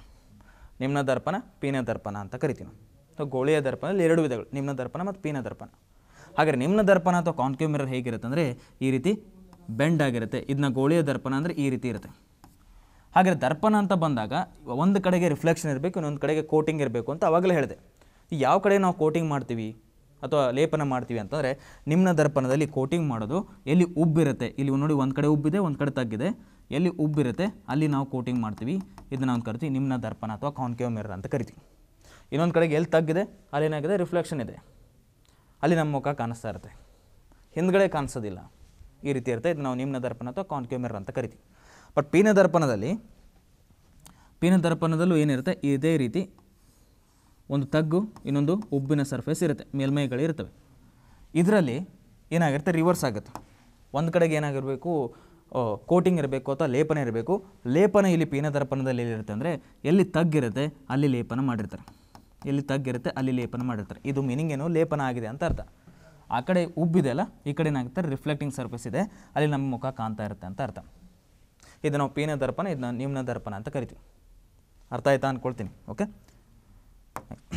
ಇವಾಗ ಈ ನಿಮ್ನ ದರ್ಪಣ ಉಬ್ಬಿರೋದಲ್ಲಿ ಕೋಟಿಂಗ್ ಇದೆ ಅಥವಾ ಲೇಪನ ಇದೆ ತಗ್ಗಿರೋಲ್ಲಿ ರಿಫ್ಲೆಕ್ಷನ್ ಸರ್ಫೇಸ್ ಇದೆ. ಅಲ್ಲಿ ನಮ್ಮ ಮುಖ ಕಾಣಿಸ್ತಿದೆ. ಇವಾಗ ಇದನ್ನು ನಿಮ್ನ ದರ್ಪಣ ಎಲ್ಲೆಲ್ಲಿ ಬಳಸ್ಕೊಳ್ತಾರೆ ಅದು ನಿಮಗೆ ಕ್ವಶನ್ ಆಗಿ ಕೇಳ್ತಾರೆ. ಅಪ್ಲಿಕೇಶನ್ ಆಫ್ ಕಾನ್ಕೇವ್ ಮಿರರ್ ಅಂತ ಕೇಳ್ತಾ ಹೋಗ್ತಾರೆ. ಎಲ್ಲೆಲ್ಲಿ ಬಳಸ್ಕೊಳ್ತಾರೆ ನೋಡಿ, ಒಂದು, ಇದ್ರದ್ದು ಇಂಪಾರ್ಟೆಂಟ್ ಅಡ್ವಾಂಟೇಜ್ ಏನಂದರೆ, ಚಿಕ್ಕ ವಸ್ತುಗಳನ್ನ ತುಂಬ ದೊಡ್ಡದಾಗಿ ತೋರಿಸುವಂಥ ಒಂದು ದರ್ಪಣ ಯಾವುದು? ನಿಮ್ನ ದರ್ಪಣ ತೋರಿಸುತ್ತೆ. ಹೀಗೆ ಚಿಕ್ಕ ವಸ್ತುಗಳನ್ನ ದೊಡ್ಡದಾಗಿ ತೋರಿಸ್ತಾ ಇದೆ ಅಂತಂದರೆ ಅದನ್ನು ನಾವು ಕರಿತೀವಿ? ಮ್ಯಾಗ್ನಿಫೈಯಿಂಗ್ ಗ್ಲಾಸ್ ಅಥವಾ ಭೂತಗನ್ನಡಿ ಅಂತ ಕರಿತೀವಿ. ಭೂತಗನ್ನಡಿ ಅಂತ ಹೇಳ್ತೀನಿ ಹಾಗಾದರೆ ಭೂತಗನ್ನಡಿ ಯಾವ ಗೋಳಿಯ ದರ್ಪಣವನ್ನು ನಾವು ಭೂತಗನ್ನಡಿ ಅಂತ ಕರಿತೀವಿ? ನಿಮ್ನ ದರ್ಪಣವನ್ನು ಭೂತಗನ್ನಡಿ ಅಂತ ಕರಿತೀವಿ. ಅದನ್ನು ನಾವು ಮ್ಯಾಗ್ನಿಫೈಯಿಂಗ್ ಗ್ಲಾಸ್ ಅಂತ ಕರಿತೀವಿ. Magnifying glass magnifying glass okay ನೆನಪು ನೆಕ್ಸ್ಟ್ ಮತ್ತಲ್ಲಿ ಯೂಸ್ ಮಾಡ್ತೀವಿ? ಈ ಮ್ಯಾಗ್ನಿಫೈಯಿಂಗ್ ಗ್ಲಾಸ್ ಕಾನ್ಸೆಪ್ಟ್ ಇರೋದ್ರಿಂದನೇ ಭೂತಗನ್ನಡಿಯಾಗಿ ವರ್ಕ್ ಮಾಡೋದ್ರಿಂದನೇ ಇದನ್ನ ಚಿಕ್ಕ ಚಿಕ್ಕ ವಸ್ತುಗಳನ್ನ ದೊಡ್ಡದಾಗಿ ನೋಡಲಿಕ್ಕೆ ಯೂಸ್ ಮಾಡ್ಕೊಳ್ತೀವಿ. ಹಾಗಾದ್ರೆ ಚಿಕ್ಕ ಚಿಕ್ಕ ವಸ್ತುಗಳಂದರೆ ಹಲ್ಲನ್ನು ತುಂಬ ದೊಡ್ಡದಾಗಿ ನೋಡಲಿಕ್ಕೆ ಇವಾಗ ನಾವು ಡೆಂಟಿಸ್ಟ್ ಕಡೆಗೆ ಹೋಗಿರ್ತೀವಿ. ಆ ಡೆಂಟಿಸ್ಟ್ ಕಡೆಗೆ ಏನಾದರೂ ಪ್ರಾಬ್ಲಮ್ ಆಗಿದೆ, ಹಲ್ಲಲ್ಲಿ ಏನಾದರೂ ಪ್ರಾಬ್ಲಮ್ ಆಗಿದೆ ಅಂದರೆ ಅದು ಒಂದು ಸ್ವಲ್ಪ ದೊಡ್ಡದಾಗಿ ನೋಡಿದ್ರೇ ಚೆನ್ನಾಗಿ ಅರ್ಥ ಗೊತ್ತಾಗೋದು ಏನು ಪ್ರಾಬ್ಲಮ್ ಆಗಿದೆ ಅಂತ. ಹೀಗೆ ಆ ಥರ ದೊಡ್ಡದಾಗಿ ನೋಡಲಿಕ್ಕೆ ನಾವು ಭೂತಗನ್ನಡಿಯನ್ನು ಬಳಸ್ಕೋಬೇಕು. ಹೀಗಾಗಿ ಏನು ಬಳಸ್ಕೊಳ್ತೀವಿ? ನಿಮ್ನ ದರ್ಪಣವನ್ನು ಅಥವಾ ಕಾನ್ಕ್ಯೂಮರನ್ನು ಬಳಸ್ಕೊಳ್ತೀವಿ. ಸೊ ಎಲ್ಲಿ ಬಳಸ್ಕೊಳ್ತೀವಿ? ಡೆಂಟಿಸ್ಟ್ ಯೂಸ್ ಮಾಡ್ತಾರೆ. ನೀವು ನೋಡಿರ್ತಾರೆ ಡೆಂಟಿಸ್ಟ್ ಕಡೆಗೆ ಹೋದ ತಕ್ಷಣ ಒಂದು ಸ್ಪೂನ್ ಥರ ಒಂದು ಮಟೀರಿಯಲ್ ಒಳಗಡೆ ಹಾಕಿಬಿಟ್ಟು, ಬಾಯಿ ಒಳಗಡೆ ಹಾಕಿಬಿಟ್ಟು ಚೆಕ್ ಮಾಡ್ತಿರ್ತಾರೆ. ಅದನ್ನು ಆ ಮಟೀರಿಯಲ್ ನಾವೇನು ಕರಿತೀವಿ? ಆಪ್ತಾಲ್ಮೋಸ್ಕೋಪ್ ಅಂತ ಕರಿತೀವಿ ನಾವು. ಏನಂತ ಕರಿತೀವಿ? ಆಪ್ತಾಲ್ಮೋಸ್ಕೋಪ್ ಆಪ್ತಾಲ್ಮೋಸ್ಕೋಪ್ ಅಂತ ಕರಿತೀವಿ. ಈ ಆಪ್ತಾಲ್ಮೋಸ್ಕೋಪಲ್ಲಿ ಬಳಸ್ತಿರುವಂಥ ಮಿರರ್ ಅಥವಾ ದರ್ಪಣ ಯಾವುದು? ನಿಮ್ನ ದರ್ಪಣ ಅಂತ ಕರಿತೀವಿ. ಆಪ್ತಾಲ್ಮೋಸ್ಕೋಪ್ ಆಪ್ತಾಲ್ಮೋಸ್ಕೋಪ್ ಅಂತ ಕರಿತೀವಿ. ಓಕೆ ಹಾಗೆ ಆಪ್ತಾಲ್ಮೋಸ್ಕೋಪ್ ಸೊ ಕಿವಿ ಸ್ಪೆಷಲಿಸ್ಟ್ ಆಗಿರ್ಬೋದು ಡೆಂಟಿಸ್ಟ್ ಸ್ಪೆಷಲಿಸ್ಟ್ ಆಗಿರ್ಬೋದು, ಅವರು ಏನು ಮಾಡ್ತಾ ಹೋಗ್ತಾರೆ, ಈ ಆಪ್ತಾಲ್ಮೋಸ್ಕೋಪನ್ನ ಬಳಸ್ಕೊಳ್ತಾರೆ. ಆಪ್ತಾಲ್ಮೋಸ್ಕೋಪಲ್ಲಿ ಇರುವಂಥ ಮಿರರ್ ಯಾವುದು? ಕಾನ್ಕ್ಯೂ ಮಿರರ್ ಅಥವಾ ನಿಮ್ನ ದರ್ಪಣ ಇರುತ್ತೆ. ಮತ್ತೆಲ್ಲಿ ಬಳಸ್ಕೊಳ್ತಾರೆ? ಇನ್ನೊಂದು ಇಂಪಾರ್ಟೆಂಟ್ ಆಗಿರೋದು, ಸೌರ ಒಲೆಗಳಲ್ಲಿ ಬಳಸ್ಕೊಳ್ತಾರೆ. ಇದನ್ನು ಸೌರ ಒಲೆಗಳಲ್ಲಿ ಬಳಸ್ಕೊಳ್ತಾರೆ. ಸೌರ ಒಲೆಗಳು. ಅಂದರೆ ನಾವೇನು ಸೋಲಾರ್ ಕುಕ್ಕರ್ ಅಂತ ಕರಿತೀವಲ್ಲ, ಆ ಸೋಲಾರ್ ಕುಕ್ಕರ್ಗಳಲ್ಲಿ ಇದನ್ನ ಬಳಸ್ಕೊಳ್ತಾರೆ. ಯಾಕೆಂದರೆ ಸೂರ್ಯನಿಂದ ಬರುತ್ತಿರುವಂಥ ಕಿರಣಗಳ ಬೆಳಕಿನ ಕಿರಣಗಳ ಸನ್ಲೈಟನ್ನ ಒಂದೇ ಪಾಯಿಂಟ್ಗೆ ಅದೇನು ಮಾಡ್ತಾ ಹೋಗುತ್ತೆ? ಕೇಂದ್ರೀಕರಣ ಮಾಡ್ತಾ ಹೋಗುತ್ತೆ. ಆ ಕೇಂದ್ರೀಕರಣ ಮಾಡೋದ್ರಿಂದ ಅತಿ ಹೆಚ್ಚು ಏನಾಗ್ತಾ ಹೋಗುತ್ತೆ? ಶಾಖ ಉತ್ಪಾದನೆ ಮಾಡೋದ್ರಿಂದ ಅದನ್ನು ನಾವು ಏನು ಮಾಡ್ತಾ ಹೋಗ್ತೀವಿ? ವಸ್ತುಗಳನ್ನ ಬೇಯಿಸಲಿಕ್ಕೆ, ಆಹಾರ ವಸ್ತುಗಳನ್ನ ಬೇಯಿಸಲಿಕ್ಕೆ ಬಳಸ್ಕೊಳ್ತೀವಿ. ಹೀಗಾಗಿ ಆ ನಿಮ್ನ ದರ್ಪಣವನ್ನು ಬಳಸ್ಕೊಳ್ತಾ ಇದ್ದೀವಿ ಹೀಗೆ ಅಲ್ಲಿ ಬಳಸ್ಕೊಳ್ತಾ ಇದ್ದೀವಿ ಸೌರ ಒಲೆಗಳಲ್ಲಿ ಅಥವಾ ಸೋಲಾರ್ ಕುಕ್ಕರಲ್ಲಿ ಬಳಸ್ಕೊಳ್ತಾ ಇದ್ದೀವಿ ನೆಕ್ಸ್ಟ್ ಮತ್ತೆಲ್ಲಿ ಬಳಸ್ಕೊಳ್ತಾರೆ ಇದನ್ನ ಶೇವಿಂಗ್ ಗ್ಲಾಸ್ ಆಗಿ ಶೇವಿಂಗ್ ಮಿರರ್ ಅಥವಾ ನಾವು ಅದನ್ನೇನು ಕರಿತೀವಿ? ಶೇವಿಂಗ್ ದರ್ಪಣವಾಗಿ ಅದನ್ನ ನಾವು ಬಳಸ್ಕೊಳ್ತಾ ಹೋಗ್ತೀವಿ. ಶೇವಿಂಗ್ ದರ್ಪಣ. ಇದ್ಯಾಕೆ ಶೇವಿಂಗ್ ದರ್ಪಣವನ್ನು ನಾವು ಬಳಸ್ಕೊಳ್ತೀವಿ ಅಂತಂದರೆ ಶೇವಿಂಗ್ ಮಾಡ್ತಿರ್ಬೇಕಾದ್ರೆ ಇಲ್ಲಿರುವಂಥ ಕೂದಲು ಅದೇ ತುಂಬ ದೊಡ್ಡದಾಗಿ ಅಥವಾ ತುಂಬ ದೊಡ್ಡದಾಗಿ ಕಾಣಿಸ್ಬೇಕು ಅಂತ ಹೇಳ್ಬಿಟ್ಟು ಏನು ಮಾಡ್ತಾರೆ ಭೂತ ಕನ್ನಡಿನ ಬಳಸ್ಕೊಳ್ತಾ ಹೋಗ್ತೀವಿ. ಹಾಗಾದ್ರೆ ಆ ಭೂತ ಕನ್ನಡಿ ಯಾವುದಿಲ್ಲ ನಿಮ್ನ ದರ್ಪಣ. ಅದಕ್ಕೋಸ್ಕರ ಅದನ್ನ ನಾವು ಏನು ಮಾಡ್ತಾ ಇದ್ದೀವಿ? ಬಳಸ್ಕೊಳ್ತಾ ಇದ್ದೀವಿ. ಹಾಗಾದರೆ ಕಾನ್ಕೇವ್ ಮಿರರ್ ಅಥವಾ ನಿಮ್ನ ದರ್ಪಣವನ್ನು ಇದಿಷ್ಟು ಕಡೆಗೆ ನಾವೇನು ಮಾಡಿಸ್ಕೊಳ್ತಾ ಇದ್ದೀವಿ? ಬಳಸ್ಕೊಳ್ತಾ ಇದ್ವಿ ಇವನ್ನ ನೆನಪಿಕೊಳ್ಳಿ ಇದರಿಂದ ನಿಮಗೆ ಕ್ವಶನ್ಸ್ಗಳನ್ನ ಕೇಳ್ತಾರೆ. ಇನ್ನೊಂದು ನೆನಪಿಕೊಳ್ಳಿ ಇಲ್ಲಿ ಮತ್ತೆಲ್ಲಿ ಬಳಸ್ಕೊಳ್ತಾರೆ ಇನ್ನೊಂದು, ಅದೇ ಕಾನ್ಕ್ಯೂಮರ್ ಅಥವಾ ನಿಮ್ನ ದರ್ಪಣವನ್ನು ಟಾರ್ಚ್ಗಳಲ್ಲಿ ಟಾರ್ಚ್ಗಳಲ್ಲಿ ಮತ್ತು ವೆಹಿಕಲ್ಸ್ ಹೆಡ್ಲೈಟ್ಸಲ್ಲಿ ಸೊ ವಾಹನಗಳ ಹೆಡ್ಲೈಟ್ಗಳಲ್ಲಿ ನಾವೇನು ಬಳಸ್ಕೊಳ್ತೀವಿ? ಈ ನಿಮ್ನ ದರ್ಪಣವನ್ನು ಬಳಸ್ಕೊಳ್ತೀವಿ ಹೆಡ್ಲೈಟ್ ವಾಹನಗಳ ಹೆಡ್ಲೈಟ್ ಮತ್ತು ಟಾರ್ಚ್ಗಳಲ್ಲಿ ಈ ನಿಮ್ನ ದರ್ಪಣವನ್ನು ಬಳಸ್ಕೊಳ್ತೀವಿ ಕಾನ್ಕೇವ್ ಮಿರರ್ ಓಕೆ ಇದಿಷ್ಟು ನೆನ್ಪಿಟ್ಕೊಳ್ಳಿ ಇನ್ನು ಒಂದು ಉಳಿದಿದೆ, ಯಾವುದು? ಪೀನ ದರ್ಪಣ. ಆ ಪೀನ ದರ್ಪಣವನ್ನು ಎಲ್ಲಿ ಬಳಸ್ಕೊಳ್ತಾರೆ? ತುಂಬ ಕಡೆ ಅದರ ಅಪ್ಲಿಕೇಶನ್ಸ್ ಅಷ್ಟೊಂದೇನಿಲ್ಲ. ಒಂದು ಕಡೆ ಬಳಸ್ಕೊಳ್ತಾರೆ. ಯಾವ್ದು ನೋಡಿ? ಈ ಪೀನ ದರ್ಪಣ ಅಥವಾ ಕಾನ್ವೆಕ್ಸ್ ಮಿರರ್ ಅಂತ ಏನು ಕರಿತೀವಿ? ಅದನ್ನು ನಾವು ಬಳಸ್ಕೊಳ್ಳೋದು ವಾಹನಗಳ ಹಿನ್ನೋಟ ದರ್ಪಣವನ್ನಾಗಿ ಬಳಸ್ಕೊಳ್ತೀವಿ ಇದನ್ನು rear view mirror of vehicle ಅಂತ ಕರಿತೀವಿ. Rear view mirror of vehicle ಅಂತ ಕರಿತೀವಿ. Mirror of vehicle rear view mirror of vehicles so ಇದನ್ನು ವಾಹನಗಳ ಹಿನ್ನೋಟ ದರ್ಪಣವಾಗಿ ಬಳಸ್ಕೊಳ್ತೀವಿ. ವಾಹನಗಳ, ವಾಹನ ಹಿನ್ನೋಟ ದರ್ಪಣವಾಗಿ ಬಳಸ್ಕೊಳ್ತೀವಿ. ಹಿನ್ನೋಟ ದರ್ಪಣ ಆಗಿ ಬಳಸ್ಕೊಳ್ತೀವಿ. ವಾಹನಗಳ ಹಿನ್ನೋಟ ದರ್ಪಣ ಆಗಿ ಬಳಸ್ಕೊಳ್ತೀವಿ. ಓಕೆ ಸೊ ಅಂದರೆ ಮೀನಿಂಗ್ ಏನಾಯಿತು? ಇಲ್ಲಿ ಬೈಕ್ ಹೊಡಿತಾ ಇರಬೇಕಾದ್ರೆ ಸೈಡಿಗೆ ಎರಡು ಮಿರರ್ ಇರ್ತಾವಲ್ಲ, ಆ ಮಿರರಿಂದ ನಾವು ಹಿಂದೆ ಯಾವ್ದು ಬರ್ತಾ ಇದೆ ವಸ್ತುಗಳು ಅದನ್ನ ನೋಡಲಿಕ್ಕೆ ನಮಗೆ ಹೆಲ್ಪ್ ಆಗ್ತಾ ಹೋಗುತ್ತೆ. ಅದನ್ನು ನಾವು ಕರಿತೀವಿ? ವಾಹನಗಳ ಹಿನ್ನೋಟ ದರ್ಪಣ ಅಥವಾ ರೇರು ಮಿರರ್ ಆಫ್ ವೆಹಿಕಲ್ ಅಂತ ಕರಿತೀವಿ. ಅದನ್ನು ಯಾವ್ದ, ಯಾವ ಮಿರರ್ನಾಗಿ ಬಳಸ್ತಾ ಇದ್ವಿ? ಪೀನ ದರ್ಪಣ ಅಥವಾ ಕಾನ್ವೆಕ್ಸ್ ಮಿರರ್ನಾಗಿ ಬಳಸ್ತಾ ಇದ್ವಿ ಇಲ್ಲಿ. ಇದನ್ನು ಇನ್ನು ಡೀಟೇಲ್ ಆಗಿ ಯಾವ ರೀತಿ ಅದು ಈ ಕಂಡೀಷನ್ಸ್ಗಳು ಬರುತ್ತೆ. ಹೇಗೆ ಅದನ್ನ ಮ್ಯಾಗ್ನಿಫೈಯಿಂಗ್ ಗ್ಲಾಸ್ ಆಗುತ್ತೆ, ಭೂತ ಕನ್ನಡಿ ಆಗಿರುತ್ತೆ ವಾಹನಗಳ ಹಿನ್ನೋಟ ದರ್ಪಣ ಹೇಗಾಗಿರುತ್ತೆ ಅಂತ ನಾವು ಯೂಶ್ವಲಾಗಿ ಕ್ಲಾಸಲ್ಲಿ ಡಿಸ್ಕಸ್ ಮಾಡಿರ್ತೀವಿ. ಬಟ್ ಇಲ್ಲಿ ಜಸ್ಟ್ ರಿವಿಷನ್ ಮಾಡಿಸೋದ್ರಿಂದ ಈ ಕಾನ್ಸೆಪ್ಟ್ಗಳನ್ನ ಅಷ್ಟೇ ನೋಡ್ಕೊಳ್ಳಿ. ಓಕೆ ಇದರಿಂದ ನಿಮಗೆ ಕ್ವಶನ್ಸ್ಗಳು ಬರುತ್ತೆ. ಹಾಗಾದರೆ ದರ್ಪಣ, ಇಲ್ಲಿ ನಮಗೆ ಯಾವ ಎಫೆಕ್ಟಿಂದ ಆಗ್ತಿರೋದು ಇದು? ರಿಫ್ಲೆಕ್ಷನ್ ಅಥವಾ ಪ್ರತಿಫಲನದ ಆ ಎಫೆಕ್ಟ್ ಮೇಲೆ ಇರುವಂಥ ಒಂದು ದರ್ಪಣದ ಕಾನ್ಸೆಪ್ಟನ್ನ ನಾವು ಇವಾಗ ಕಂಪ್ಲೀಟಾಗಿ ಡೀಟೇಲ್ ಆಗಿ ನೋಡಿದ್ವಿ. ಇಲ್ಲಿಂದ ನಿಮಗೇನು ಬರುತ್ತೆ? ತುಂಬ ಕ್ವಶನ್ಸ್ಗಳು ಆಲ್ರೆಡಿ ಬಂದಿದ್ದಾವೆ ಮತ್ತೆ ವಾಪಸ್ ಬರ್ತ, ಬರ್ತಾ ಹೋಗ್ತವೆ. ನೋಡಿ ಲಾಸ್ಟ್ ಟೈಮ್ ಎಫ್ ಡಿ ಅಲ್ಲಿ ಕೇಳಿರೋ ಕ್ವಶನ್ ಇದು ಟಾರ್ಚಸ್ ಮತ್ತು ಹೆಡ್ಲೈಟ್ಸಲ್ಲಿ ಬಳಸುವಂಥ ದರ್ಪಣ ಯಾವುದು? ನಿಮ್ನ ದರ್ಪಣ ಕಾನ್ಕೇವ್ ಬಳಸ್ತಾರೆ. ಇದನ್ನು ತುಂಬ ಸಲ ಕೇಳಿರೋದು ರೇರು ಮಿರರ್ ಆಫ್ ವೆಹಿಕಲಲ್ಲಿ ಬಳಸೋದು ಯಾವುದು? ಪೀನ ದರ್ಪಣ ಅಥವಾ ಕಾನ್ವೆಕ್ಸ್ ಮಿರರ್ನ ಬಳಸೋದು. ಇದಿಷ್ಟು ಪ್ರತಿಫಲನದ ಮೇಲೆ ಇರುವಂಥ ಒಂದು ಅಪ್ಲಿಕೇಶನ್ ಸೊ ಹಾಗಿದ್ರೆ ಫಸ್ಟು ಎಫೆಕ್ಟು ಯಾವುದು? ಕಣ ಸಿದ್ಧಾಂತಗಳ ಆಧಾರದ ಮೇಲೆ ಇರುವಂಥ ಮೊದಲನೇ ಎಫೆಕ್ಟ್ ಪ್ರತಿಫಲನ ಅಥವಾ ರಿಫ್ಲೆಕ್ಷನ್ನ ಕಂಪ್ಲೀಟ್ ಮಾಡಿದ್ವಿ. ಇನ್ನೊಂದು ನೆಕ್ಸ್ಟು ಕ್ಲಾಸಲ್ಲಿ ನಾವೇನು ಮಾಡ್ತಾ ಹೋಗೋಣ? ನೆಕ್ಸ್ಟ್ ಎಫೆಕ್ಟ್ ಅಥವಾ ನೆಕ್ಸ್ಟ್ ಎಫೆಕ್ಟ್ ಯಾವುದು? ರಿಫ್ರಾಕ್ಷನ್, ಅದನ್ನ ನಾವು ವಕ್ರೀಭವನ ಅಂತ ಕರಿತೀವಿ. ಆ ವಕ್ರೀಭವನ ತೊಗೊಂಡ್ಬಿಟ್ಟು ಅದ್ರ ಮೇಲೆ ಇರುವಂಥ ಒಂದಿಷ್ಟು ಅಪ್ಲಿಕೇಶನ್ಸನ್ನು ನೋಡ್ತಾ ಬರೋಣ. ಇದೇ ರೀತಿ ಪ್ರತಿಯೊಂದು ಎಫೆಕ್ಟ್ಗಳನ್ನ ಕಂಪ್ಲೀಟ್ ಮಾಡಿಬಿಟ್ಟು ಈ ಬೆಳಕಿನ ಚಾಪ್ಟರಲ್ಲಿ ಇರುವಂಥ ಎಲ್ಲ ಅಪ್ಲಿಕೇಶನ್ ಅಥವಾ ಅನ್ವಯಗಳನ್ನ ತಿಳ್ಕೊಳ್ತಾ ಬರೋಣ. ಅದರಿಂದ ನಮಗೆ ಕ್ವಶನ್ಸ್ಗಳು ಬರ್ತಾ ಹೋಗುತ್ತೆ. ಇದು ನಿಮಗೆ ತುಂಬ ಹೆಲ್ಪ್ಫುಲ್ ಆಗಿದೆ ಅಂತ ಅಂದ್ಕೊಳ್ತೀನಿ ಸೊ ಆದಷ್ಟು ಇದನ್ನು ಲೈಕ್ ಮಾಡಿ ಶೇರ್ ಮಾಡಿ ಮತ್ತು ಸಬ್ಸ್ಕ್ರೈಬ್ ಮಾಡಿ. ಓಕೆ ಸೊ ಇದೇ ಥರ ನಿಮಗೆ ಇಂಪಾರ್ಟೆಂಟ್ ಆಗಿರುವಂಥ ಫಿಸಿಕ್ಸಲ್ಲಿ ಇಂಪಾರ್ಟೆಂಟ್ ಆಗಿರುವಂಥ ಒಂದು ಕಾನ್ಸೆಪ್ಟ್ಸ್ಗಳನ್ನ ತೊಗೊಂಬರ್ತಾ ಹೋಗ್ತೀವಿ ಡೈಲಿ ಸೊ ನೋಡಿಬಿಟ್ಟು ಹೆಲ್ಪ್ ಇದರಿಂದ ತುಂಬ ಜಾಸ್ತಿ ಹೆಲ್ಪ್ ತೊಗೊಳ್ತಾ ಹೋಗಿ.